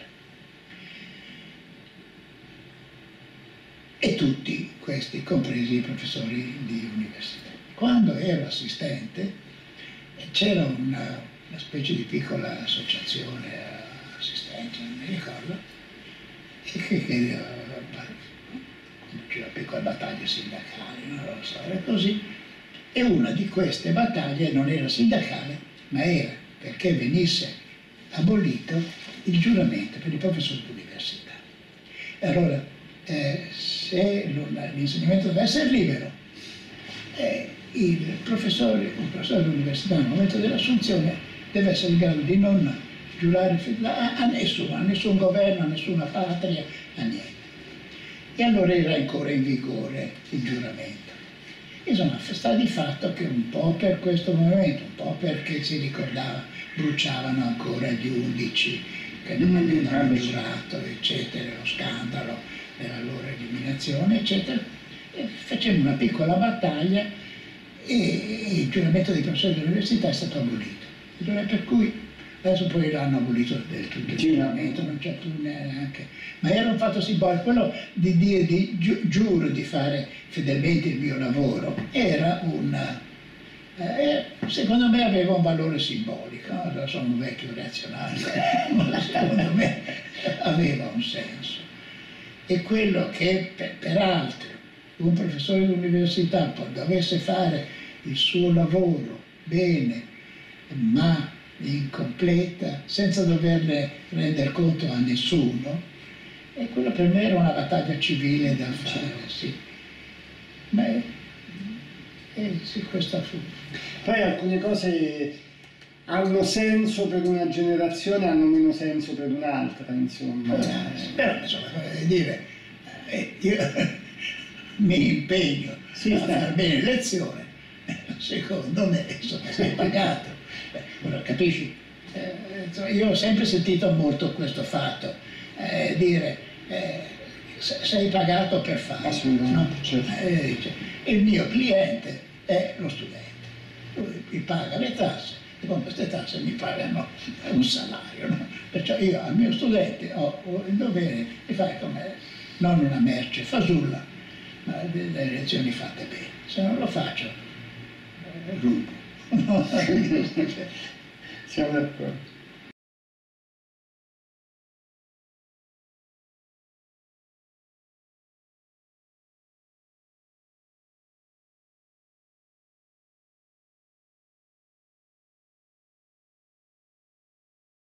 In queste condizioni, in piena libertà, ho finito per occuparmi delle cose più curiose, una delle quali era l'importanza dell'acqua. No, non era neanche questa.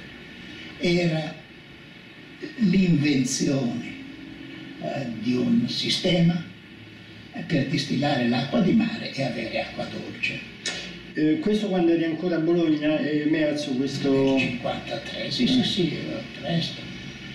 In quel momento, incuriosito da una invenzione che avevo letto su una qualche rivista, mi sono messo a costruire di, di plastica mm. con plexiglass, con la colla, no?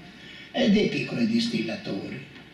E siccome avevo forse già da allora una certa spregiudicatezza, ho cominciato a raccontarlo in giro.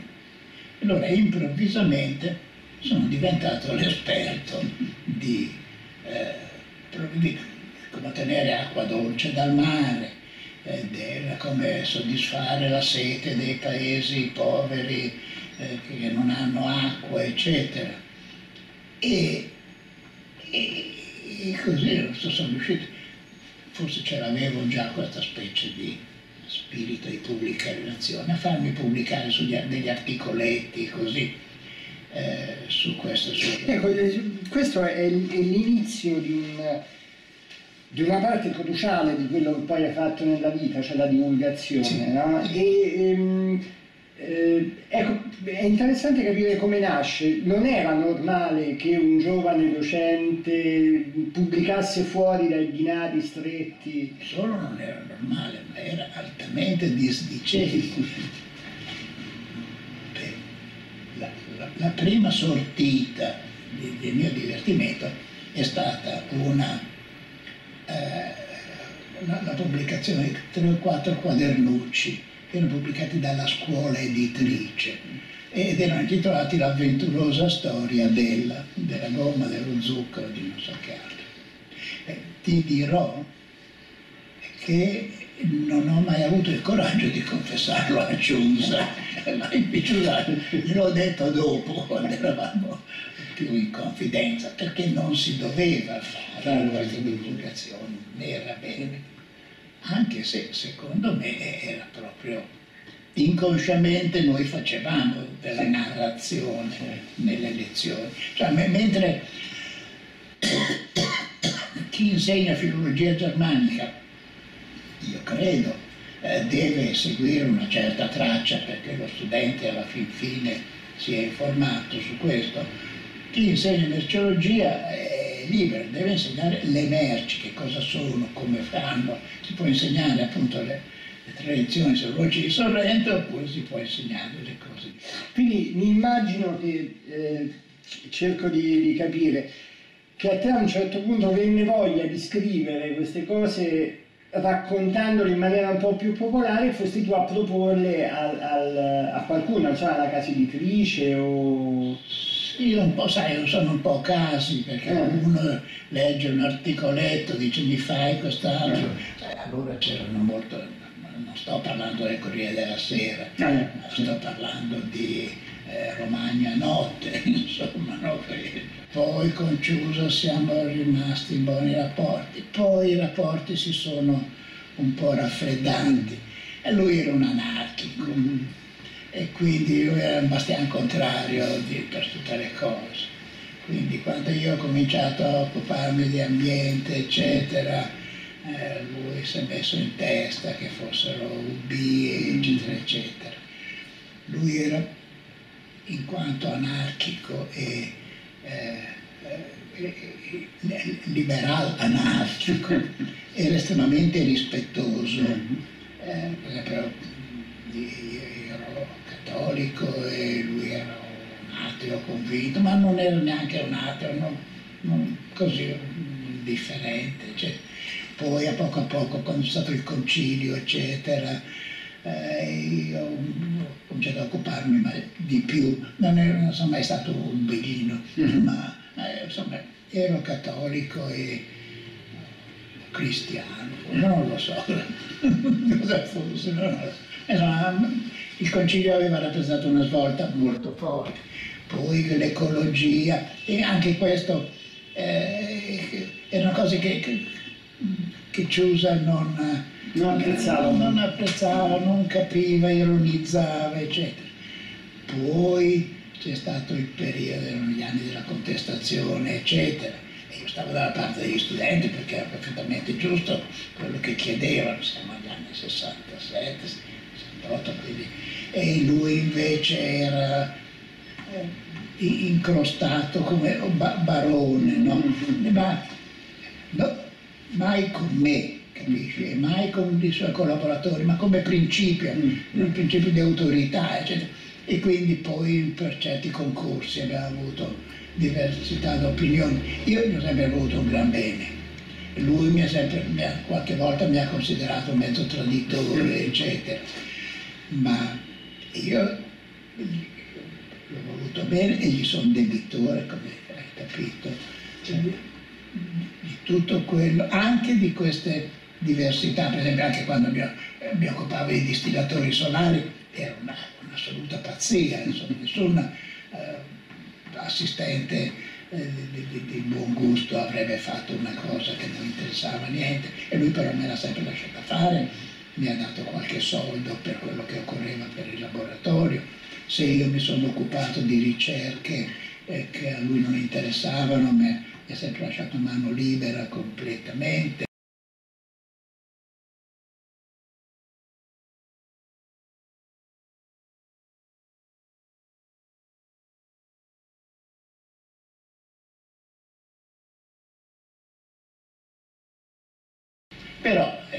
Volta che io avevo una roba stampata la facevo circolare, la mandavo in giro e a poco a poco uno si autocrea la fama di essere competente di una certa cosa.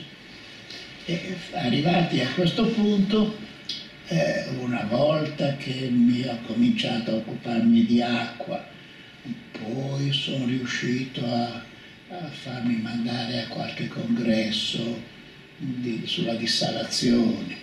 Sempre in Italia? Eh, primi anche una volta negli Stati Uniti, mm. anche abbastanza presto, non mi ricordo più. Poi quando tornavo lo raccontavo e a poco a poco, insieme al lavoro dell'archeologia più tradizionale che facevo, e a poco a poco so, qualcuno ha creduto che io mi occupassi di acqua. E a poco a poco qualcuno mi ha, credu ha creduto che se io mi occupavo di acqua, forse mi occupavo anche di, di depurazione, eccetera, che è poi un problema merceologico, perché quando fai le barbabietole ti viene fuori un fiume di acqua puzzolente, a fare lo zucchero da barbabietole ti viene fuori un fiume di acqua puzzolente, inquinata, che deve essere trattata, depurata, eccetera a poco a poco sono finito a occuparmi, questo già dopo che avevo vinto il concorso che ero già a Bari, no? anche di problemi dell'acqua, oltre che di dissalazione, di eh, delle acque, eccetera, eccetera.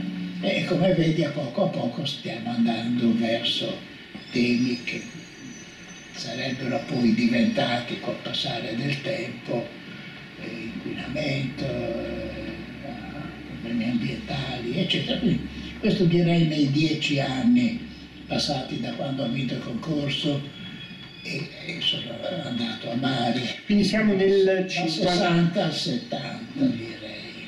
Cosa ho vinto? 59, 60, E a questo punto e siamo arrivati che la gente credeva che io fossi competente dei problemi delle acque. Ma siccome i problemi delle acque erano legati all'inquinamento delle acque e siccome qualcuno vedeva che c'era poi anche l'inquinamento dell'aria, eccetera, erano simili e così, e c'erano i fumi, eccetera. E a poco a poco mi sono trovato coinvolto, eh, non soltanto nel discorso dell'acqua, ma del discorso così de, de, dell'inquinamento, eccetera. Ed ero alla fine della seconda metà degli anni 60. Sì. Allora, questi problemi erano nell'aria, ma l'hai ben visto, tu l'hai trattato molto bene, tu varie riprese, no? Erano nell'aria i primi, eh, i, i, giudi, i primi pretori d'assalto, le prime condanne, e, ed erano problemi chimici, erano problemi arceologici quando diceva butta fuori l'anidride solforosa, deve vedere da dove viene. E, un umanista poteva dire una porcheria, ma un chimico gli diceva viene da lì. Quando è che hai cominciato a percepire che queste tematiche cominciavano ad essere veramente sentite, cioè avere un riscontro, diciamo così? Nel 70. A partire dal 70? Direi sì che sono anni in cui tu hai fatto una serie di cose importanti, mi pare, il convegno... Sì, c'ero dentro, mm. ecco, no? e, sic siccome mi ero occupato di queste cose, quando ha detto che facciamo un convegno sulla... quello dei dirigenti d'azienda... Quello di Solari. Quello di Solari, eccetera, eh, dice qualcuno mi ha detto, dice vieni tu a parlare, non lo so, mi sono candidato, non lo so come queste cose vanno, insomma, eh, dice il processo della tecnologia, scusa io insegno questi problemi.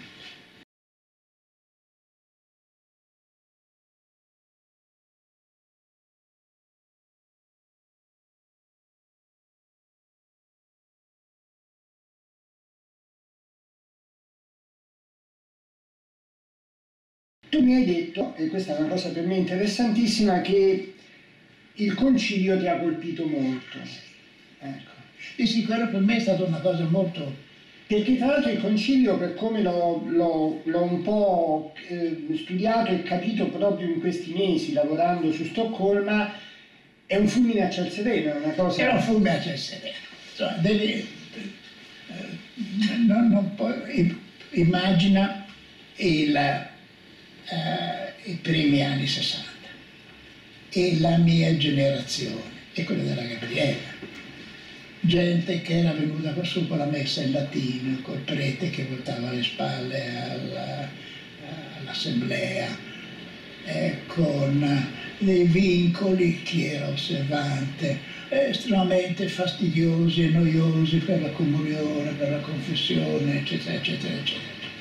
A un certo punto arriva quest'uomo qua, che è Giovanni XXIII, che convoca il concilio, dice sì, bisogna buttare via tutte queste cose qua, bisogna parlare italiano, la, la lingua locale bisogna, no? E bisogna guardare in faccia la gente con cui si parla e, e poi eh, poco a poco cominciano anche a circolare eh, delle, de, de, de, degli interessi nuovi, insomma, tipo diritto dei poveri, cioè, la popolazione potrebbe essere di qualche anno dopo, ma era già in germe, no? E dire, insomma, se, se, si vuole parlare di sviluppo, di progresso, eccetera, la pace in interno, la pace in interno, certamente, insomma, no, è stata una vera rivoluzione. Ed era più facile essere anche osservante, no? Ed era più volontieri si faceva. Ed era divertente andare a cercare nelle fonti della Chiesa cristiana, dei cristiani, del cristianesimo e dell'ebraismo e dell'Antico Testamento, andare a vedere le fonti di quelle che ti interessavano. Eh, si parlava di acqua, no? si parlava di deserti, si parlava di pane, si parlava di, di oro, no? E quindi per me anche questo è stato uno stimolo molto, molto forte. E questo con la Gabriella l'abbiamo vissuto in maniera molto molto intensa. Sì. È stato un modo anche per diciamo, vivere in maniera diversa la fede, avvicinarci sì, in maniera sì. più partecipe. Partecipe e anche come fatto di curiosità culturale, di interesse, di curiosità, eccetera. Devi pensare, sono gli anni anche di una certa svolta a sinistra nel mondo, no? Mm. Quindi era facile dire eh, mi sento un uomo di sinistra e sono un cristiano, no? C'erano tutti, tutti, i movimenti de, de, de, eh, comunisti cristiani che erano stati presenti, ma insomma risorgevano qui, no? Don Milani, no? Si leggeva eh, come tipo di lettura, insomma, no? E tutto questo ha avuto, secondo me, su di me e sulla Gabriella e forse anche su Mario un, un patto formidabile. Mm. E qui sei un attimo prima, diciamo, del, dell'incontro con, um, con, l'ecologia, perché siamo, questa è la prima metà degli anni 60. E sta arrivando perché appunto, come ti ho detto, se mi occupavo di inquinamento, eccetera, cominciavo a frequentare eh, questi congressi, scrivevano su qualche rivista tipo inquinamento, roba di questo genere. E, eh, e poi questo nel popolare progresso c'erano già questi eh, termini, il progresso, lo sviluppo, la crescita, no? Quindi quando a un certo punto ho cominciato a leggere eh, Commoner, Ehrlich e così, insomma ho capito che quella era roba mia. Però ascolta, qui ci sono delle date che eh, mi, mi tornano relativamente poco, nel senso che se io dovessi collocare il, il momento dalle cose che ho letto in cui tu, eh, non dico incontri, ma entri nel mondo dell'ambientalismo. Incontrare una cosa sono le prime letture, ma poi dire da un certo momento in poi mi faccio carico, cioè diventa una cosa che è un pezzo della mia vita, allora io li trovo subito già il 65-66, il 66 sicuramente. Quindi proprio eh, il momento è la metà degli anni 60, cioè è proprio il momento in cui l'ambientalismo italiano sta cambiando, nel senso che alle vecchie associazioni, diciamo così, se ne stanno aggiungendo di nuove e anche Italia Nostra fa una, una svolta grazie a Cederna, grazie ad altri. Quindi, e questi sono anni precedenti all'arrivo di, all, all, alla pubblicazione addirittura di Commoner, di Verdi, eccetera. Però c'era la, la Carlson. Sì, c'era stata la Carlson, ma poi eh, il concetto di limite cominciava già a circolare. Ah, sì. sì. E quindi eh, il libro di Commoner è del 72, sì. sai, però lui era già attivo, era stato attivo nella, nel movimento contro le bombe atomiche, cioè, sì, sì, certo. E questo è... Tu eh, quali sono le prime cose che cogli di queste novità, che, che ti ricordi? Diciamo, credo è sempre molto difficile andare a ricostruire queste origini, però le primissime cose da cui tu dici sta, là sta succedendo qualcosa che forse vale la pena seguire. Direi associato al concetto di inquinamento. Mm. Mm. Cioè, battaglie contro le automobili inquinanti, eh, gli omenoni di Milano corrosi dagli acidi. Mm. Perché queste erano già cose che cominciavano ad essere sui sì, giornali. No, no, no?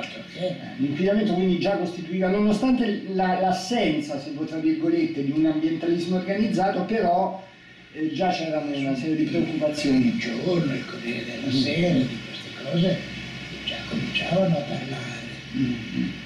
E poi, e poi il problema della popolazione cominciava già a circolare, no? Ma in realtà il problema delle risorse della popolazione era un tema che era eh, nella, nella, non solo nella letteratura, letteratura, scientifica, ma anche in libri popolari era già molto presente dalla fine degli anni 40, quindi gli anni 50 sono già attraversati da questo problema delle risorse. Sì. E quindi... Poi c'era c'erano anche pubblicazioni ufficiali, eh, la, eh, Resource for Freedom, eccetera. Negli Stati Uniti c'era questo concetto di analisi delle risorse, se non era ben chiaro il discorso finiranno, mm. eh, però quante ce n'è, problema, eh, quante ce n'è, quante ce ne saranno in futuro. Io mi ricordo che fra gli esercizi che si facevano così era vedere ecco, come previsioni eh, dei, dei, futuri bisogni, la, la, concorrenza che era fra, eh, anche fra merci, no? saponi, detersivi sintetici, gomma naturale, gomma eh, sintetica, chi vince in questa concorrenza. Questi erano temi che attraversavano sì. un po' il dibattito, però poi a un certo punto arriva eh, l'ambientalismo quello organizzato, diciamo così, eh, che in Italia c'era, però era molto piccolo, molto ristretto fino a, ai, agli anni, primi anni 60. Cioè... Io credo di aver conosciuto Pratesi e WWF nel 68. No, l'hai conosciuto prima perché c'è la corrispondenza.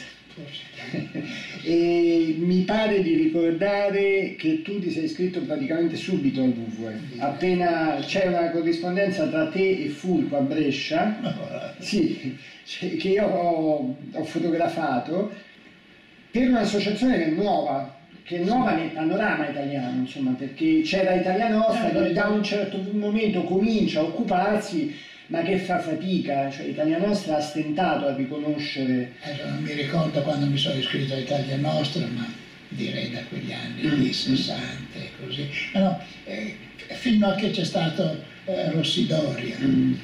e Bassani, e le, le idee circolavano. Eh, cederne, eccetera, erano più eh, orientate su problemi urbanistici, sì, storico, sì. eh, però cominciava già anche eh, a figurare ambiente.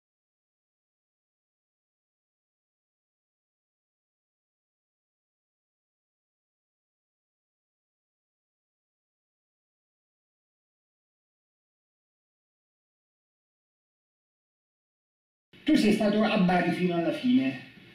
Sono stato a Bari fino alla fine. Però io so che, eh, che però saresti andato via volentieri a un certo sì. punto.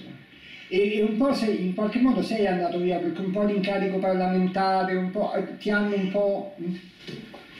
La storia, qui ho fatto non più scientifico ma umano, no? Certo i miei genitori avevano costruito una baracca eh, vicino a Maria di Massa, in un posto che si chiamava Poverone, che si chiama tuttora Poverone. E questa era stata distrutta dalla guerra, poi la mia mamma l'aveva, con i danni di guerra, l'aveva mezzo rabberciato, eccetera, e ci andava lei eh, qualche volta d'estate. E poi quando lei è morta, l'abbiamo ereditata. C'era un po' di terreno, era... C'erano 1400 metri, mm. 1400 metri di bosco proprio così. E eh, quando la mia mamma è morta nel 70, e quei pochi soldi che avevamo abbiamo detto senti, costruiamo, ricostruiamo, rimettiamo la posto, erano 40 metri quadrati, insomma, no? però abbiamo verniciato, abbiamo comprato i letti, no? E abbiamo cominciato ad andare lì. E questa è stata per 40 anni la fonte della felicità della Gabriella e mia. Quindi noi vivevamo per poter andare a Poverono, perché lì stavamo. Che è comune di, ehm, di Massa. Di Massa. Eh, sei pratico della zona? Un pochino. Un po'. C'è Maria di Massa, poi se vai verso sud-est eh, c'è Cinquale, Montignoso, l'altro tutta zona di un interesse estremo dal punto di vista storico, perché c'era Montignoso era un enclave di Lucca e poi attaccato c'era quella che oggi è Forte dei Marmi, cioè Serravezza, che era un enclave del Granducato di Toscana e poi ricominciava la Lucca poi si arrivava... Quella è tutta una zona di mescolanze praticamente. Bellissimo. Fino alla Lunigiana. Fino alla Lunigiana. E uh, Massa, Massa era il Granducato di Estenso, non so, mm-hmm. che poi si, si, se ne affittavano fra parenti così. Ed è bellissimo perché a frequentarlo eh, che come noi l'abbiamo sempre frequentato con grande amore no? e anche curiosità, insomma. eh, sono diversissimi, per esempio, e si odiano fra loro con una forza come solo i toscani sanno fare. No? Carrara odia mortalmente Massa, Massa odia ed è odiata da quelli di Montignoso, tipo solo una striscia di 5 Pisa, Livorno, Siena, Firenze. Sì, ma poi è ancora peggio. Eh, quelli della Versilia sono quelli della Versilia che non hanno niente a che fare con, con Massa e Carrara, no? E poi diventa eh, Pisa, Lucca, Pisa, eccetera, tutti in odio fra di loro. E poi dall'altra parte si va verso la Lunigiana, che sono emiliani, con, con, con il toscanaccio non ci voglio niente. E quindi insomma per noi questo Poveromo era un posto dove ci divertivamo senza fine, poi avevamo trattato abbastanza bene, mi ci portava il computer, passavamo in certi periodi eh, oh, Credo a lungo sia venuto anche vostro figlio con voi. A lungo che era ragazzo è venuto sì, nel 70, lui cosa aveva? 14 anni, sì. E, e, quindi ce lo siamo goduto. E questo è stato un po' l'attrattore. Da Bari a, a Poveromo c'erano sette ore di macchina, tanto avevamo già comprato la macchina e eravamo già su una strada consumistica. E noi abbiamo sempre sognato di, di avvicinarci, per noi l'ideale sarebbe stato passarci dei mesi. Quindi era lì il, il era punto di attrazione. Punto di attrazione sì. E poi, eh sì, poi nove anni li ho passati a Roma eh, in Parlamento. E poi quando sono tornato a Bari ormai ero, ero stanco, poi erano cambiate nel 92, 93, 94 erano cambiati anche i rapporti universitari. Fino a che sono stato a Bari ero il direttore dell'istituto insomma. Eh, non, non come centro di potere ma insomma a un certo punto potevo di, regolare quello che interessava a me, comprare i libri che interessavano a me e, e che interessavano agli altri, insomma era un poco fatto su misura per me. E gli altri, quelli che, sono, che hanno lavorato con me, grande passione per quello di cui mi sono occupato io, non hanno mai avuto molto, tanto bravi, sono tutti molto miei amici, insomma, mi ha sempre considerato un nome. Quindi quello appunto che ho visto dalle tue carte che a un, a un certo punto sì, se, se, fossi potuto venire a Pisa per esempio l'avresti fatto volentieri. Avevo fatto anche dei passi. Sì, ho visto.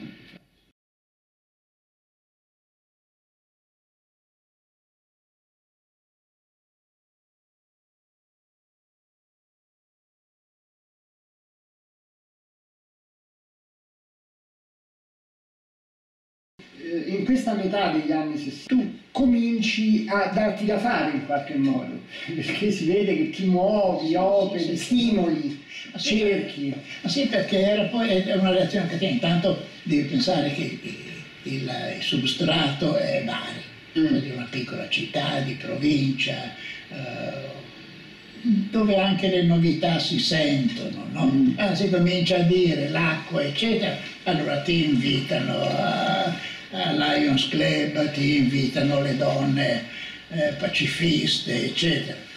E, e, quando vai lì poi il giornale ti dedica una colonnina e allora diciamo allora vieni anche a fare la conferenza, anche a Conversano, sì perché no?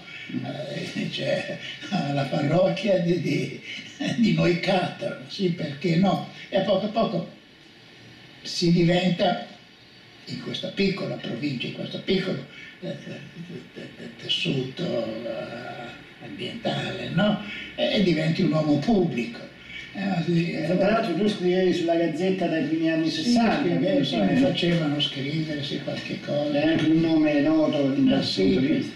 Ma poi sai, eh, avevo 500 studenti all'anno e quindi eh, tutti i commercialisti di Bari sono passati dal mio esame alcuni allegri, alcuni scontenti, così. Ancora adesso qualcuno mi ricorda che ci ho fatto l'esame con lei. Dice, capisci? La, e questo è stato anche il motivo per cui mi hanno cercato dal punto di vista politico più certo. avanti, no? Perché non è che uno fosse un uomo politico, un uomo pubblico, ma era inevitabilmente noto, sia perché faceva il professore, sia perché parlicchiavo qua, sia perché mi occupavo di cose eh, abbastanza che, che, interessavano la gente, ma addirittura, eh, una piccola parentesi, eh, io ho finito eh, i miei anni da assistente facendo delle ricerche sulle frodi alimentari. E ho goduto eh, della straordinaria stagione della lotta contro le frodi che c'è stata negli anni 59 e 60, in cui anche lì si andava in piazza, no? Una pagina delle lotte popolari che è stata eh, quasi dimenticata, ma che io ho vissuto intensamente. E in quel periodo chi parlava di frodi alimentari erano i professori di merceologia e mi ricordo che si faceva un congresso, mi ricordo uno favoloso, la provincia di Milano ci invitò in grandi alberghi a parlare delle frodi e appena sono arrivato a Bari, le prime eh, uscite pubbliche, diciamo così, e erano state proprio a parlare de, de, delle frodi alimentari, frodi dell'olio, cioè, um, non ti piacerebbe di fare questa, è una pagina della... Sconosciuta, ormai quasi sconosciuta, sì, sì, ma di grandissimo interesse. Insomma, eh, i, i, giornali parlavano delle frodi in prima pagina, no? Erano le frodi dell'olio. Ed è stato anche, c'è stata anche un'azione, un effetto politico, perché sono state scritte le leggi eh, fasciste sulle, sugli alimenti e sono state scritte in sana pianta con questa nuova ottica di attenzione per i consumatori, per l'ambiente, eccetera. Quindi capisci, anche per questo ero un po' noto, mm-hmm. poi soprattutto in un paese piccolo, insomma, no? regione piccola, decentrata. Però io so per esempio che in questo, metto qui perché così, che in questo, ehm, che in questo poi non eri solo chiamato, cioè eri tu che in qualche modo diventavi spesso stimolo. Eh, eh, ti faccio un esempio adesso per dire una cosa che a me ha colpito tantissimo eh, dei documenti che ho letto nel tuo archivio a Brescia è il fatto che tu a un certo momento, co- co- come inizia eh, la, la, il percorso che ti ha portato poi a essere a Stoccolma, è che tu scrivevi, leggevi sul giornale, ehm, ma degli appigli appena, cioè il, eh, un articolo su una conferenza di un, eh, di un vescovo, di un, di un, qualcuno su una determinata questione che aveva attinenza con quello che ti interessava, che facevi, e subito gli scrivevi, ho letto che lei ha... Sì, sì. E, e, questo magari una volta ti tre volte su quattro non ti dava o non ti rispondeva o non ti dava la risposta che ti soddisfaceva. Però per esempio a un certo punto sei incappato in Bartolomeo Sorge. E quello è stato poi un percorso che ti ha... Ancora prima eh, con eh, la cittadella cristiana, mm-hmm. mi ricordo mi hanno invitato, Beh, una volta dice l'ambiente, è diventato di moda, l'acqua è così, e, e allora dice vieni a parlare. E lì ho conosciuto Gremillon, che era un arcivescovo americano, che è stato poi il segretario di giustizia Pax per qualche tempo. Eh sì, perché poi ci, si finisce per, per, essere un circo, no? no? Un, un, circo. Allora si dice, allora vieni a questa conferenza qua. E poi sai, ero giovane allora, quindi 66, quanti anni avevo? 40 anni. 40 anni. E mi divertivo, avevo voglia. E quando mi chiedevano dicevo sì sì, insomma. Un, uh, un capitolo importante che insomma, un po' ricostruito, eh, me ne ha parlato tanto, che mh, è andato avanti un po' di anni, però poi alla fine si è richiuso su se stesso, è stato questo impegno nella, diciamo, con le strutture della Chiesa, eh, Sto- Stoccolma, poi giustizia e pace. Mm. ma è stato bello, diciamo, Molto interessante, importante. Sì, sì, molto divertente. Eh sì. Oh, ma poi improvvisamente, poi sai come capitano le cose, no? Eh, a un certo punto non servi più o viene altra gente, nessuno poi ti, ti fila più niente.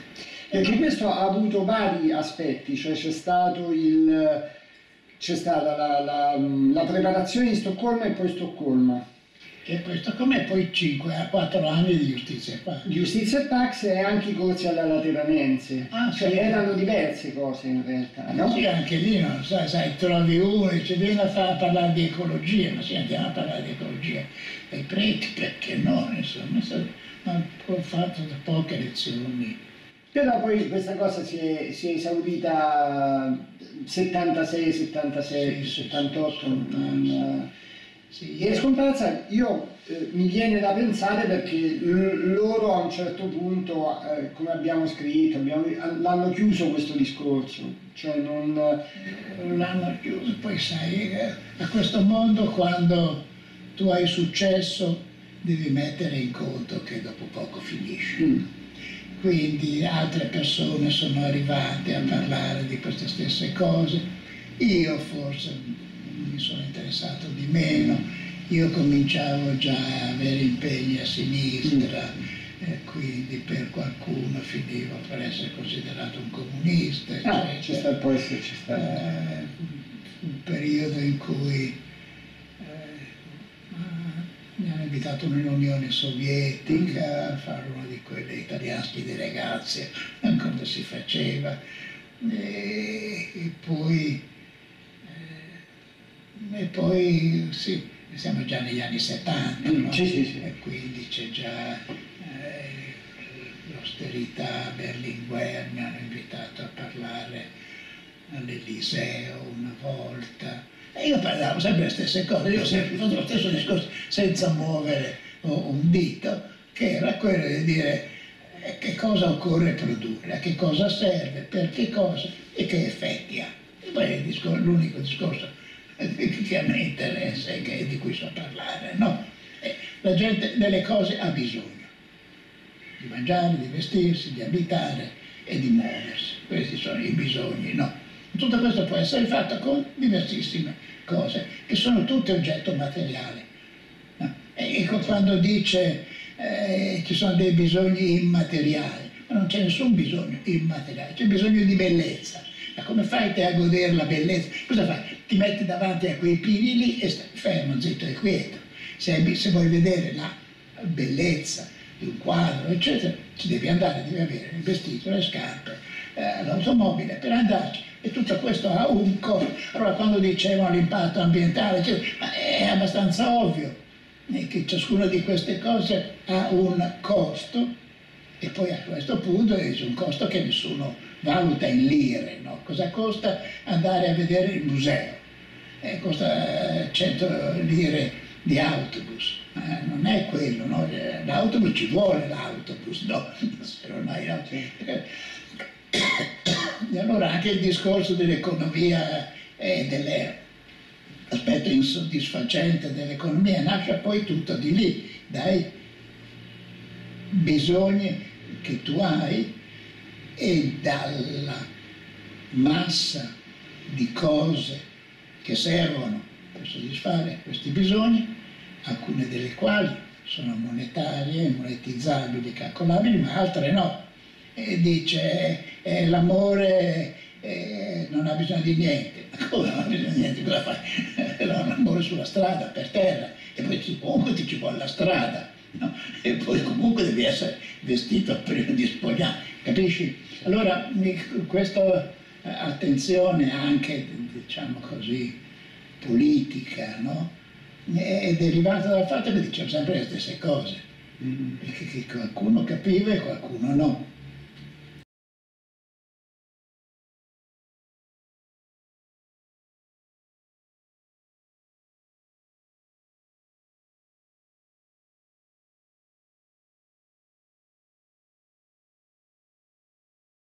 L'ambientalismo che stava nascendo in Italia era un ambientalismo in gran parte, non totalmente, però in gran parte sganciato dalle questioni tecnico-scientifiche.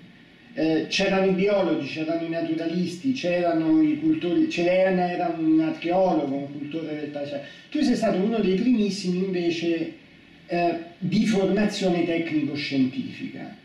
Eh, per me eh, eh, eh, erano, erano, i problemi miei, mm. perché dovunque tu lo girassi, la popolazione, la popolazione la devi sfamare, cioè, per sfamarla devi produrre cereali e soia e carne, eccetera, che è roba del mio mestiere.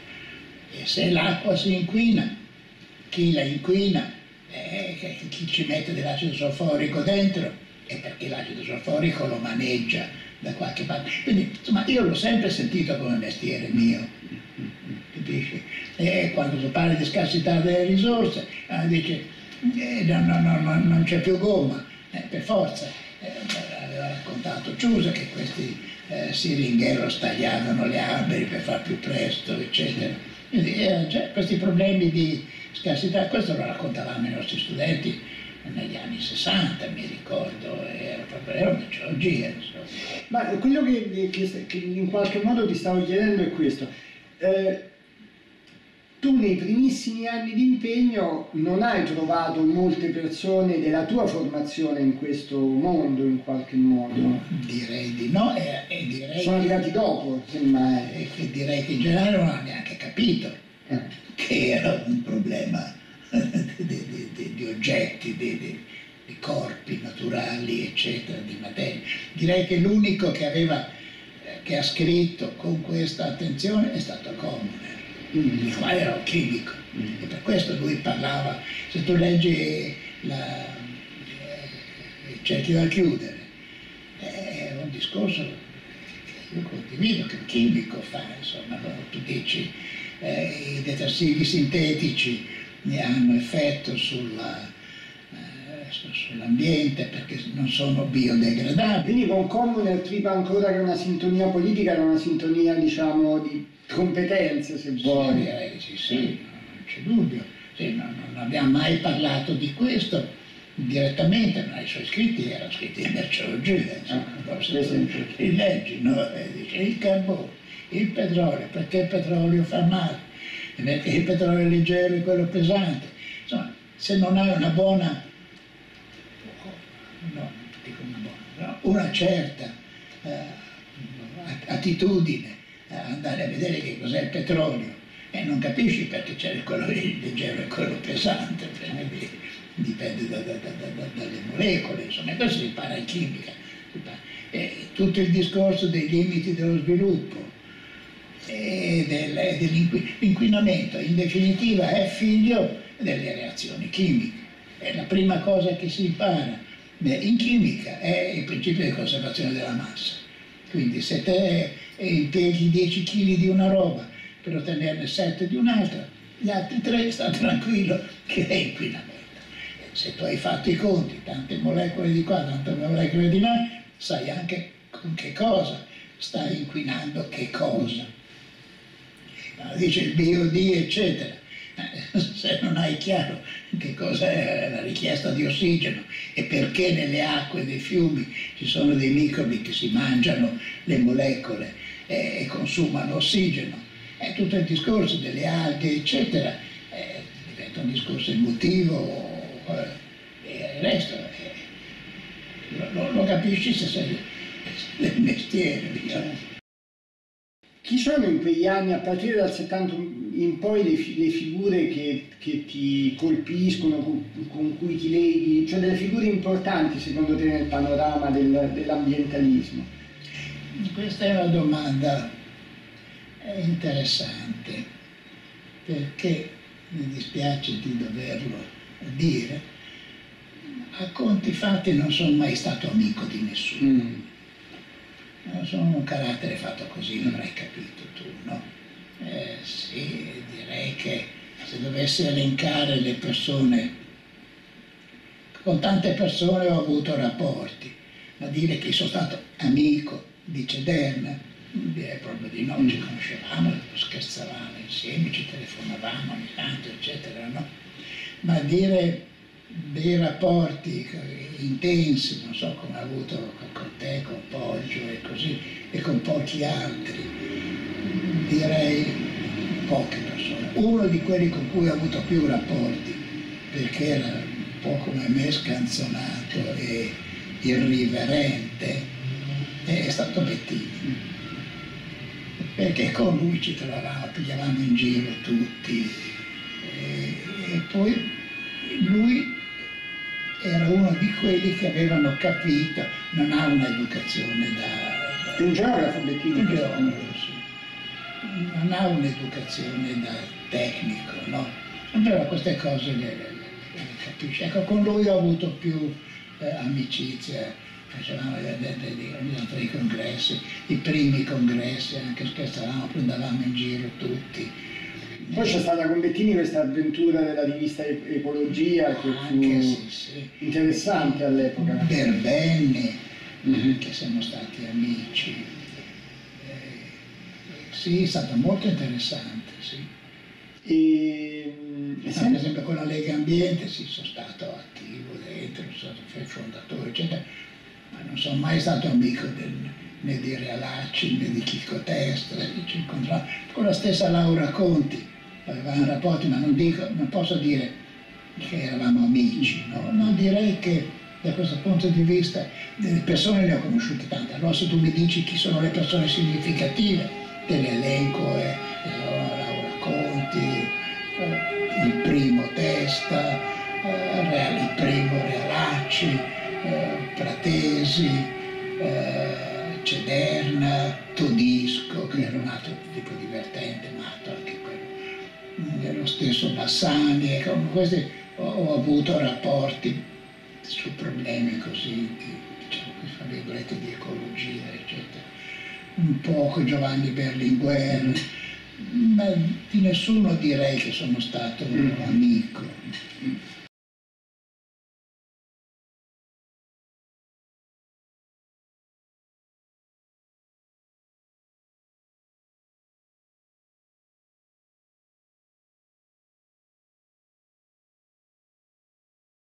Un altro passaggio importante che tu enfatizzi sempre, ma che è importante sia dal punto di vista um- umano, esistenziale, ma anche per la storia dell'ambientalismo italiano, è quello del, pass- del, passaggio in Parlamento, perché è stato un periodo felice in qualche modo per l'ambientalismo e interessante anche per te, immagino. Molto interessante per me. Dunque, la storia è questa.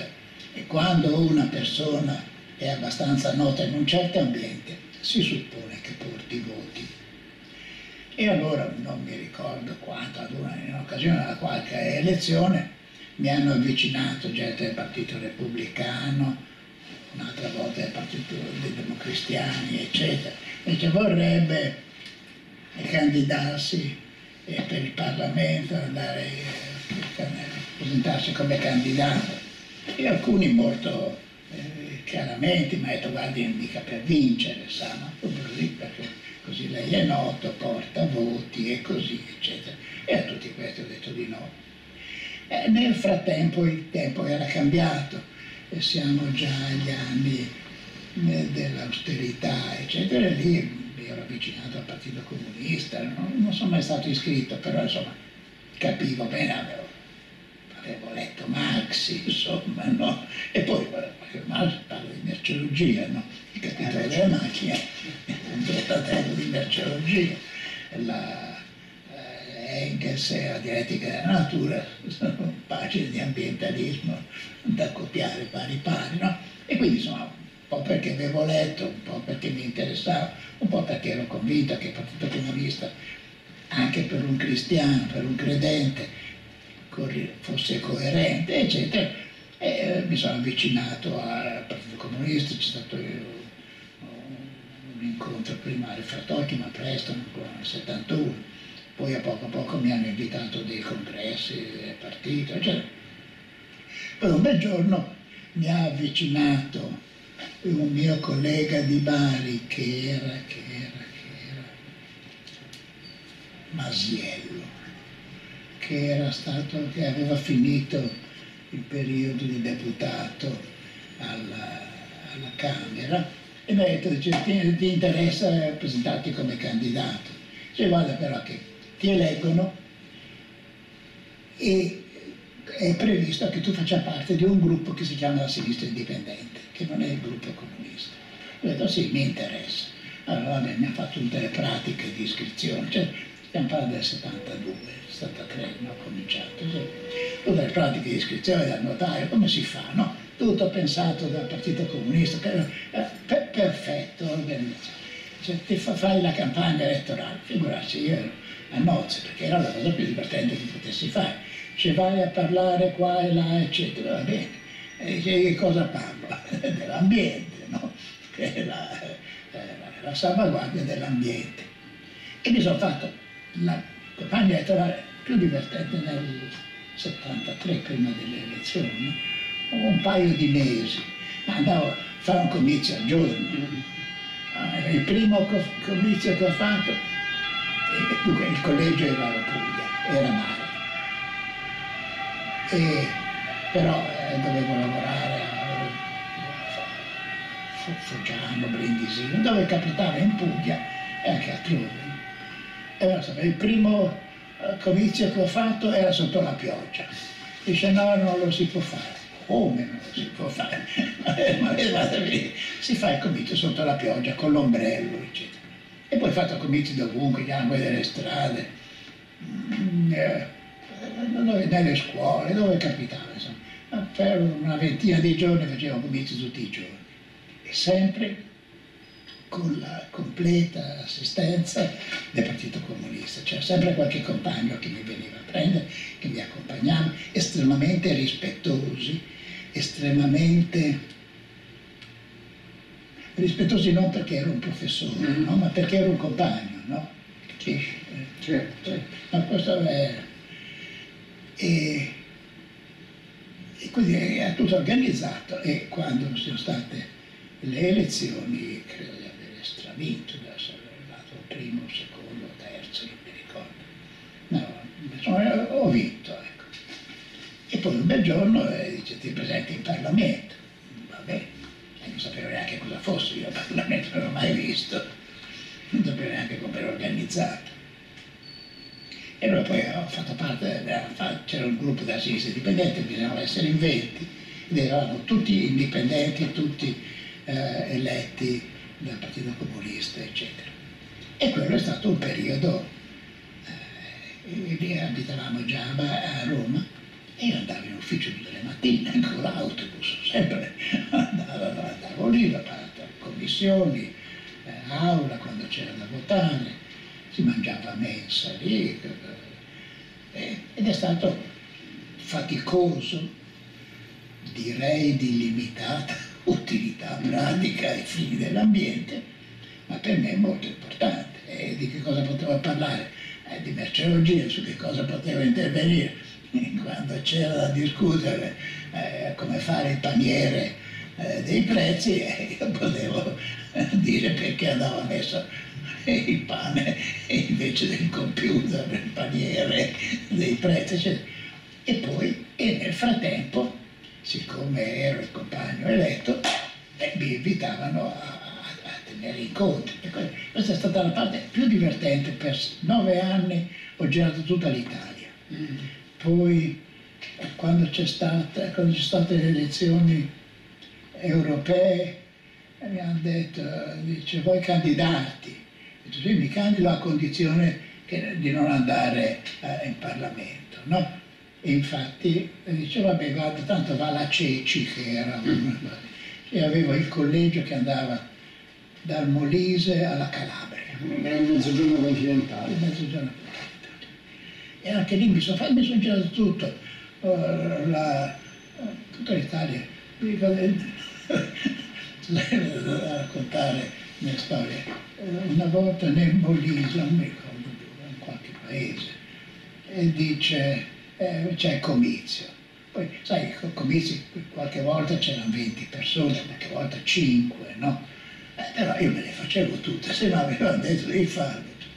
E una volta a uno di questi comizi qua e dice, eh, cioè, sai, è, la, il comizio è disdetto cioè, perché c'è stato Tiananmen. E ho detto, ma che cavolo ci importa noi Tiananmen? Sono qua, siamo sotto le elezioni, ogni ora, ogni minuto, ogni candidato, ogni eh, voto è, è buono. E, e, voi state pensando a Tiananmen, ci saranno detto dalla direzione. Senti, no, io il comizio lo faccio, e fate quello che vi pare. E lo faccio. Appunto, a certe punte c'erano gli stupidi, e poi c'erano quelli bravi, e poi c'erano quegli avversari dell'ambiente, fermamente convinti. Ecco, a litigare nessuno mi ha mai detto niente. Nessuno mi ha mai detto guarda questo è un argomento da non toccare quando facevo i comizi. Nessuno in Parlamento mi ha mai detto questo non vuol dire. Anzi, so, certe volte ho fatto degli interventi con Pollice, e con, con, Pollice siamo stati amici. Ma siamo... Pollice però non era, era, nel, no, era in democrazia proletaria. proletaria. Sì. Pollice, Tamino, Ronchi, abbiamo fatto delle iniziative insieme, interventi così. E poi con i compagni comunisti quando diceva eh, firmi questa cosa, certo, qualcosa l'ho fatto anch'io così. Senti, il periodo in cui sei stato tu in Parlamento è stato il periodo in cui eh, c'è stata la più forte rappresentanza, diciamo, ambientalista, eh, perché c'era tanta gente, tra quelli dei Verdi, quelli indipendenti di sinistra, qualcuno nel PC, qualcuno nel... Direi la, legislazione, la legislatura successiva, che io ero in Senato. Sì. E alla Camera lì c'era Tiezzi, forse Cederna, sì, sì molti. No, nella, eh, nella nona, che era quella dove io sto alla Camera, era... No, c'era un piccolo gruppo, c'era Boato per i Verdi, credo fosse l'unico verde. Eh, Pollice con Democrazia Proletaria, Tamino e Ronchi, forse anche loro con Democrazia Proletaria. No, che mi ricordi noi eravamo un piccolo gruppo. E invece alla Camera c'è stato un grande afflusso, la, la decima legislatura. Dopo, ma io ero al Senato e lì ci si divertiva meno. Eh, sì, sai, il lavoro è fatto da due parti, no? quello che è direi di, di, di militanza, appunto interventi, poi incontri fuori. Eh, quegli anni lì ho girato senza tregua perché dice il compagno vieni a Trieste, vengo a Trieste. E poi io mi divertivo, devo dire la verità, eh, anche a muovermi. E poi invece il lavoro di routine, che è un lavoro d'ufficio, eh, dice va, discuti la legge sul tabacco, cavolo, devi andare a leggere tutta la, la documentazione sul tabacco, la Camera ti fornisce una parte di documentazione che nessuno legge, ma io per dire la mia me lo volevo leggere tutto e ho raccolto tutto, cioè, ogni spilla che veniva dal Parlamento raccolta e spillata era. E allora quindi quello era un lavoro duro, dice io ero alla Camera ero la commissione agricoltura, perché non c'era ancora la commissione ambiente. E c'era da lavorare, perché quando dice eh, con pesticidi, col cibo, poi consorzi agrari, quando devi votare sui consorzi agrari devi andare a documentarti che cosa sono i consorzi agrari. E c'era da leggere, da studiare, è stato un lavoro intenso. E invece in Senato ero alla Commissione Agricoltura, però siccome eravamo in 15, mi pare, e, e nessuno voleva, insomma, nella, nella divisione eh, dice, eh, restava fuori Streller. Mm. Dice dove lo mettiamo Streller? Io ho detto a me interessa andare all'ambiente dice Streller dove lo mettiamo? C'è all'agricoltura, ragazzi, ci facciamo ridere dietro tutto il mondo, Streller in no, non ci andava mai, no? Eh. però era formalmente. formalmente la commissione agricoltura. Detto no, questo è veramente le dico ci facciamo ridere dietro, mettetelo all'ambiente, comunque la cosa. Io mi prendo l'agricoltura a condizione però che la commissione ambiente ci vada io. E allora me le facevo tutte e due. E portanto Strello non ci veniva mai, tutta la documentazione che lui aveva non, non arrivava mai, quindi bisognava che io mi arrangiassi a sapere in commissione ambiente che cosa si discute. È stato un periodo abbastanza buono, abbiamo fatto una commissione sulla, sull'agricoltura collinare, un'altra sull'uso dell'acqua in agricoltura.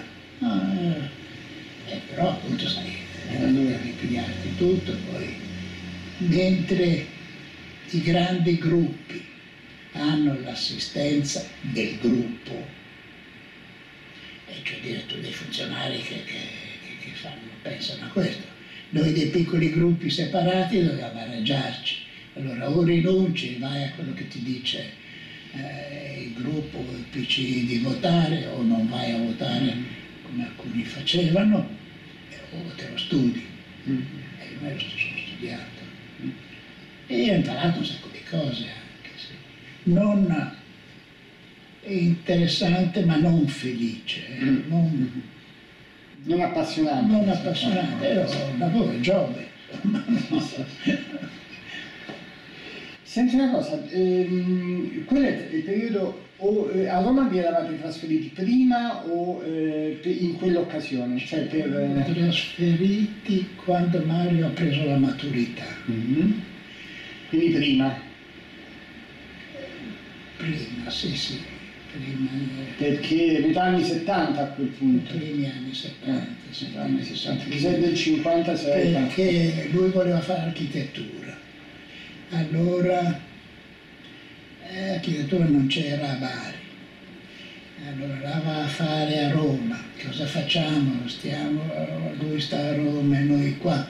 E con la scusa di dire stiamo vicini a Mario, abbiamo, ci avviciniamo di altri 400 km nella poveromo. Ed effettivamente da allora riuscivamo, negli, negli, ultimi anni quando ero già in pensione, riuscivamo ad andare quasi una volta al mese. Mm-hmm. Proprio, quello è stato proprio il periodo più felice eh, in cui anche appunto Mario ma era autonomo, solo Gabriele appunto vivevamo proprio, poi ci divertivamo, andavamo in giro, andavamo per supermercati, si scherzava di tutto, quello è stato proprio il periodo, poi leggevamo, studiavamo insieme.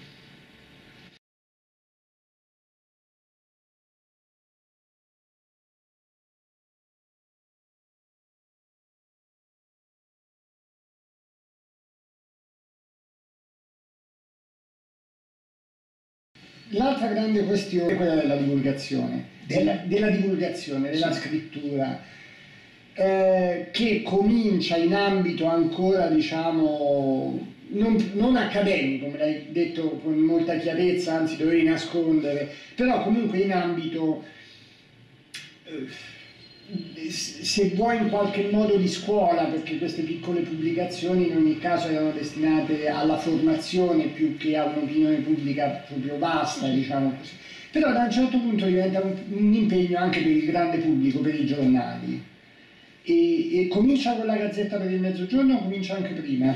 Forse con la Gazzetta. La grande svolta è stata, ma occasionalmente mi hanno invitato il Corriere della Sera, ma poca roba, 5-6 articoli. Poi forse la grande svolta è stata col giorno. Mm.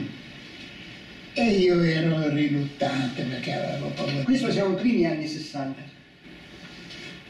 Forse secondi mm. anni. Secondi anni 60. Però già, già, già eri una firma in qualche modo, diciamo, già avevi da tanto tempo collaborazioni con quotidiani? Sì, sì, sì eh. questo direi di sì.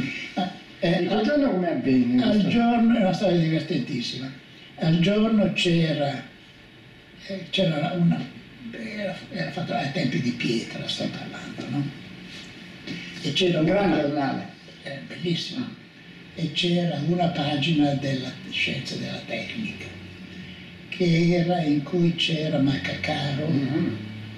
e un tale personaggio che era cercato, il cibernetico, il cibernetico stranissimo personaggio con cui siamo stati molto amici, eccetera, e che, che, che una volta mi disse, ma dice, perché non scrivi anche per il giorno? E io ero riluttante, anche perché non, non sapevo come fare, no? scriveva degli articoletti così occasionali, eccetera.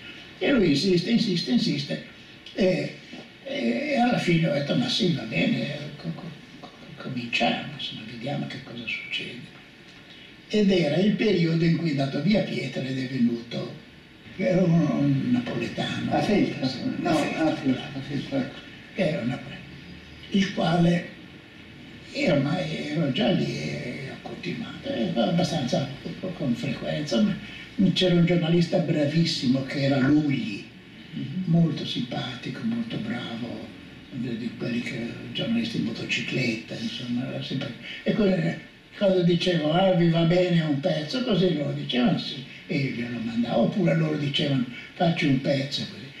E a Feltri non ha mai saputo esattamente chi io fossi, perché poi noi non l'avevamo mai visto, no? E lui credeva che merceologia e meteorologia fossero più o meno la stessa cosa. E sì che ogni tanto lui prendeva il telefono e mi diceva nebbia, piove, e allora io capivo che bisognava fare un pezzo sull'erosione del suolo e sulle alluvioni e che io lo facevo perché sapevo di che cosa si parlava. E lì è stato un periodo molto molto divertente.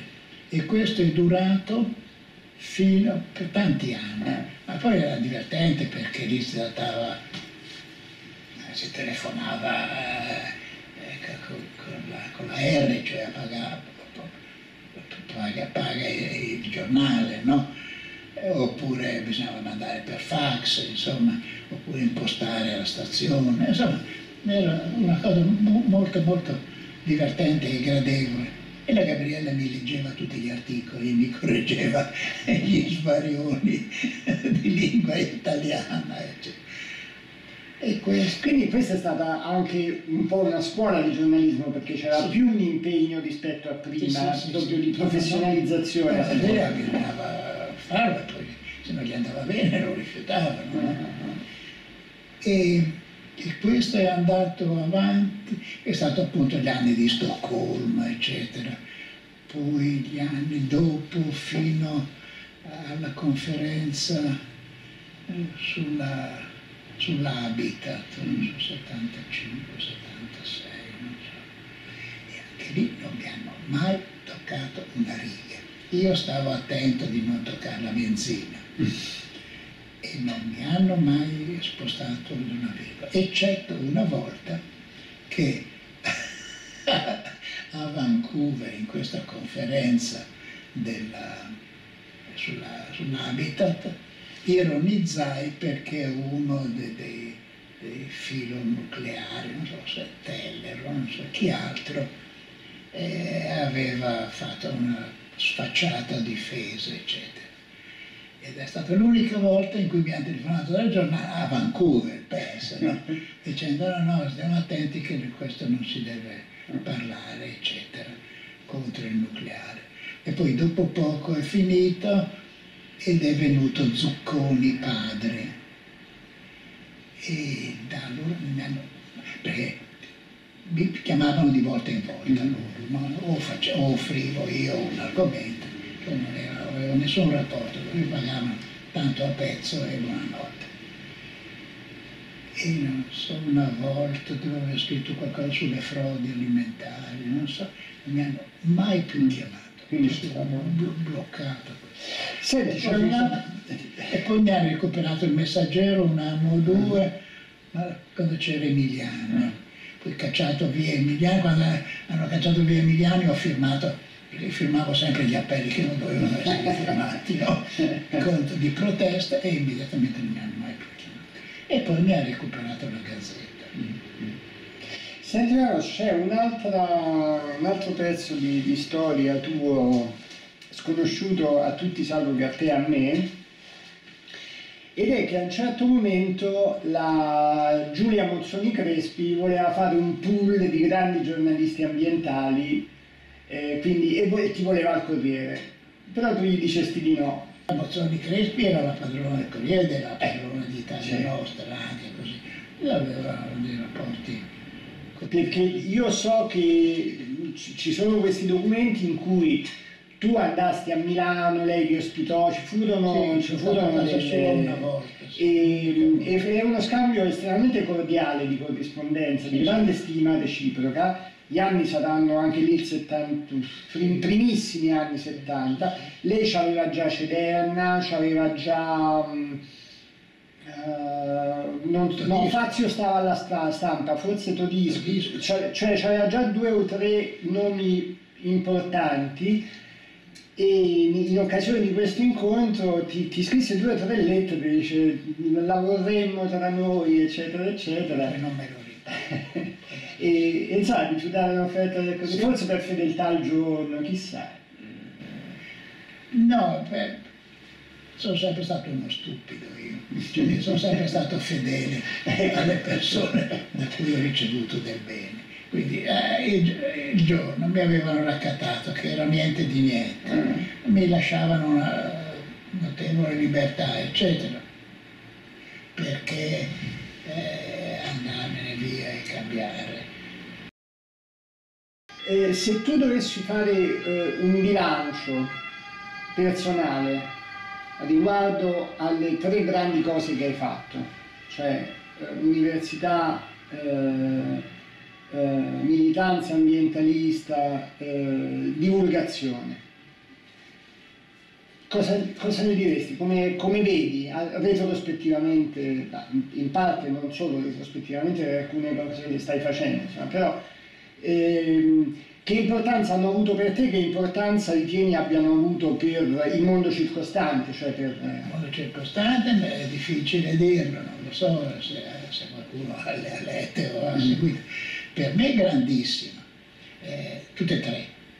È quella dell'insegnamento, perché io sono sempre stato convinto che raccontare le cose fosse utile e raccontarle nel meglio eh, in cui potessi raccontare.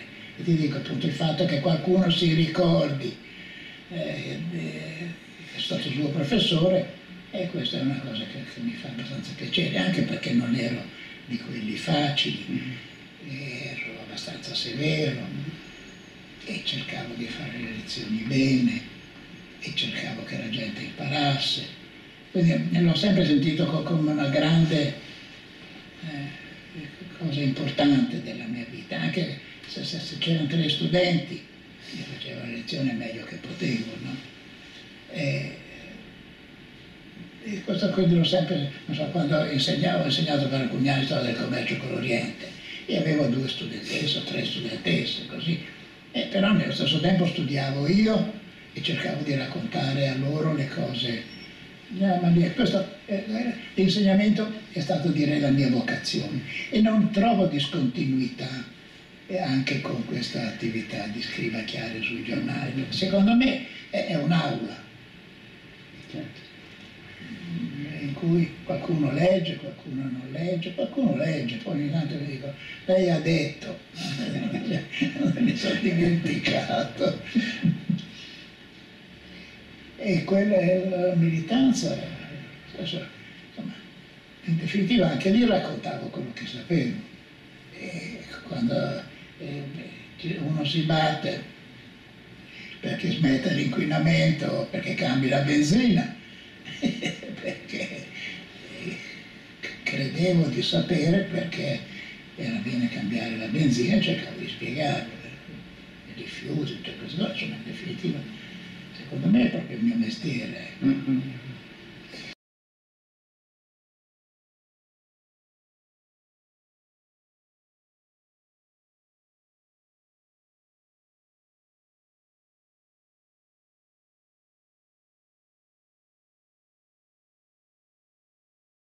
Io avrei finito qua, però tu mi hai tirato per i capelli su un altro argomento importante, però voglio chiederti anche di questo. Puoi dirmi un po' di libri che per te sono stati veramente importanti nel corso del tempo? Alcuni. Manfred. Eh? Ma- Mumford, ecco, Mumford che è quello un po' poco... La, come si chiama? I tre libri... E uno soprattutto, quello di Tecnica e Cultura. Che hai letto quando? Questo è, questo è interessante. Direi... non lo so, Però negli anni 60. eh, forse 60. 60. Poi un altro libro che secondo me, che per me, che anche questo me l'aveva dato, questo me l'aveva dato Giuseppe, l'altro no. Eh, ma forse adesso me l'ho cercato per conto mio. La- Un altro libro era Zisca, Ah, La guerra contro i monopoli. Zisca era uno stranissimo personaggio eh, che non dico che fosse filo nazionalsocialista, ma è vissuto in quegli anni lì, però non credo che sia mai stato attivo nel nazionalsocialismo. E ha scritto dei libri mm, di, di geopolitica, Vabbè, andava molto su tutto. sì, e questo tecniche, questo eh, che ti ho citato, La la guerra guerra contro i monopoli, deve essere del 33-34 ed è ovviamente filo tedesco, no? E dice la Germania è soffocata eh, dai monopoli eh, de- delle grandi potenze, un discorso anticapitalista equivoco, no? Come capitava eh, in epoca germanica, no? Però è un libro bellissimo dove c'è tutta la storia della tecnica con tutte queste cose, la guerra del petrolio, la guerra della gomma, la guerra dei nitrati, eccetera.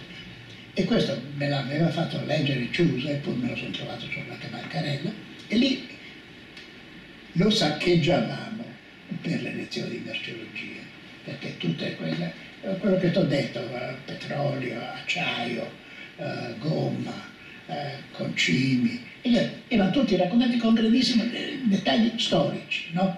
Eh, quando eh, il re dei Belgi ha conquistato il Congo eh, per eh, estrarre la, la gomma, eh, il rame, quando La eh, tipica opera erudita, insomma. Come? La tipica opera erudita. Opere, ricca eh, di- di, storiche di divulgazione. E un terzo libro, che anche questo per me è fondamentale, è la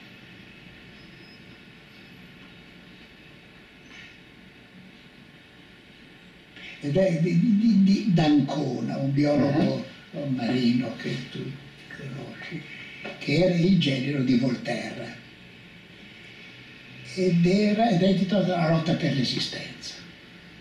Un libro che è bellissimo. Prima di tutto ci sono pagine di ecologia eh, e racconta una storia a cui io sono stato sempre legato molto, eh, molto affezionato, della, mm, eh, come si dice, De- della guerra per le materie, per la vita Mhm. che vuol dire per le materie prime, che vuol dire per il territorio.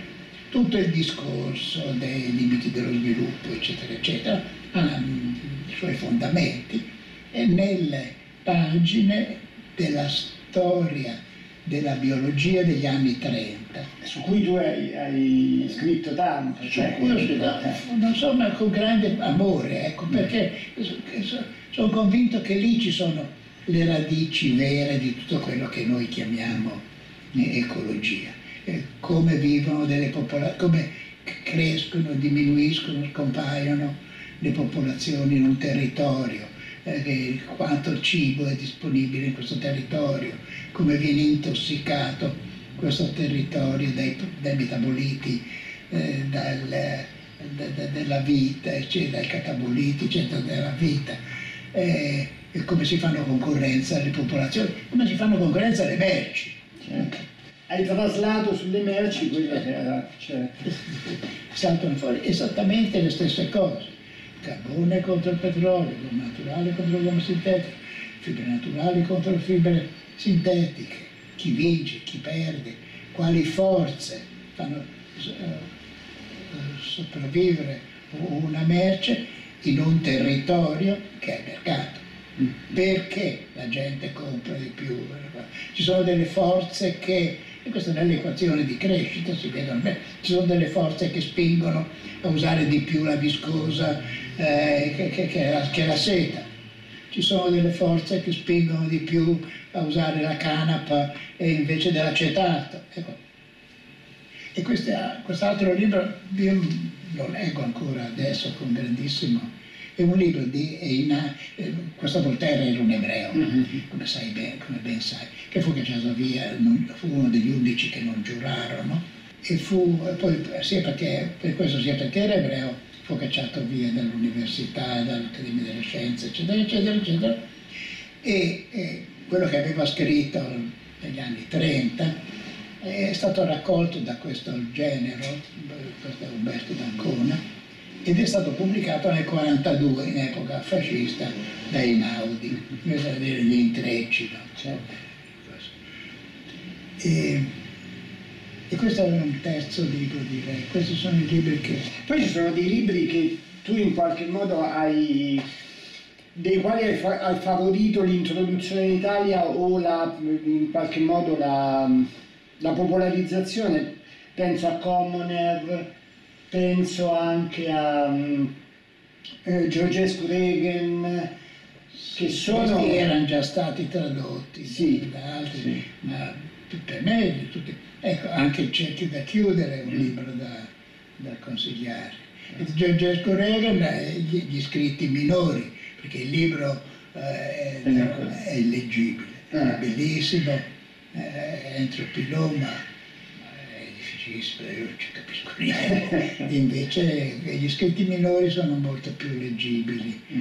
sono raccolti in vari volumi.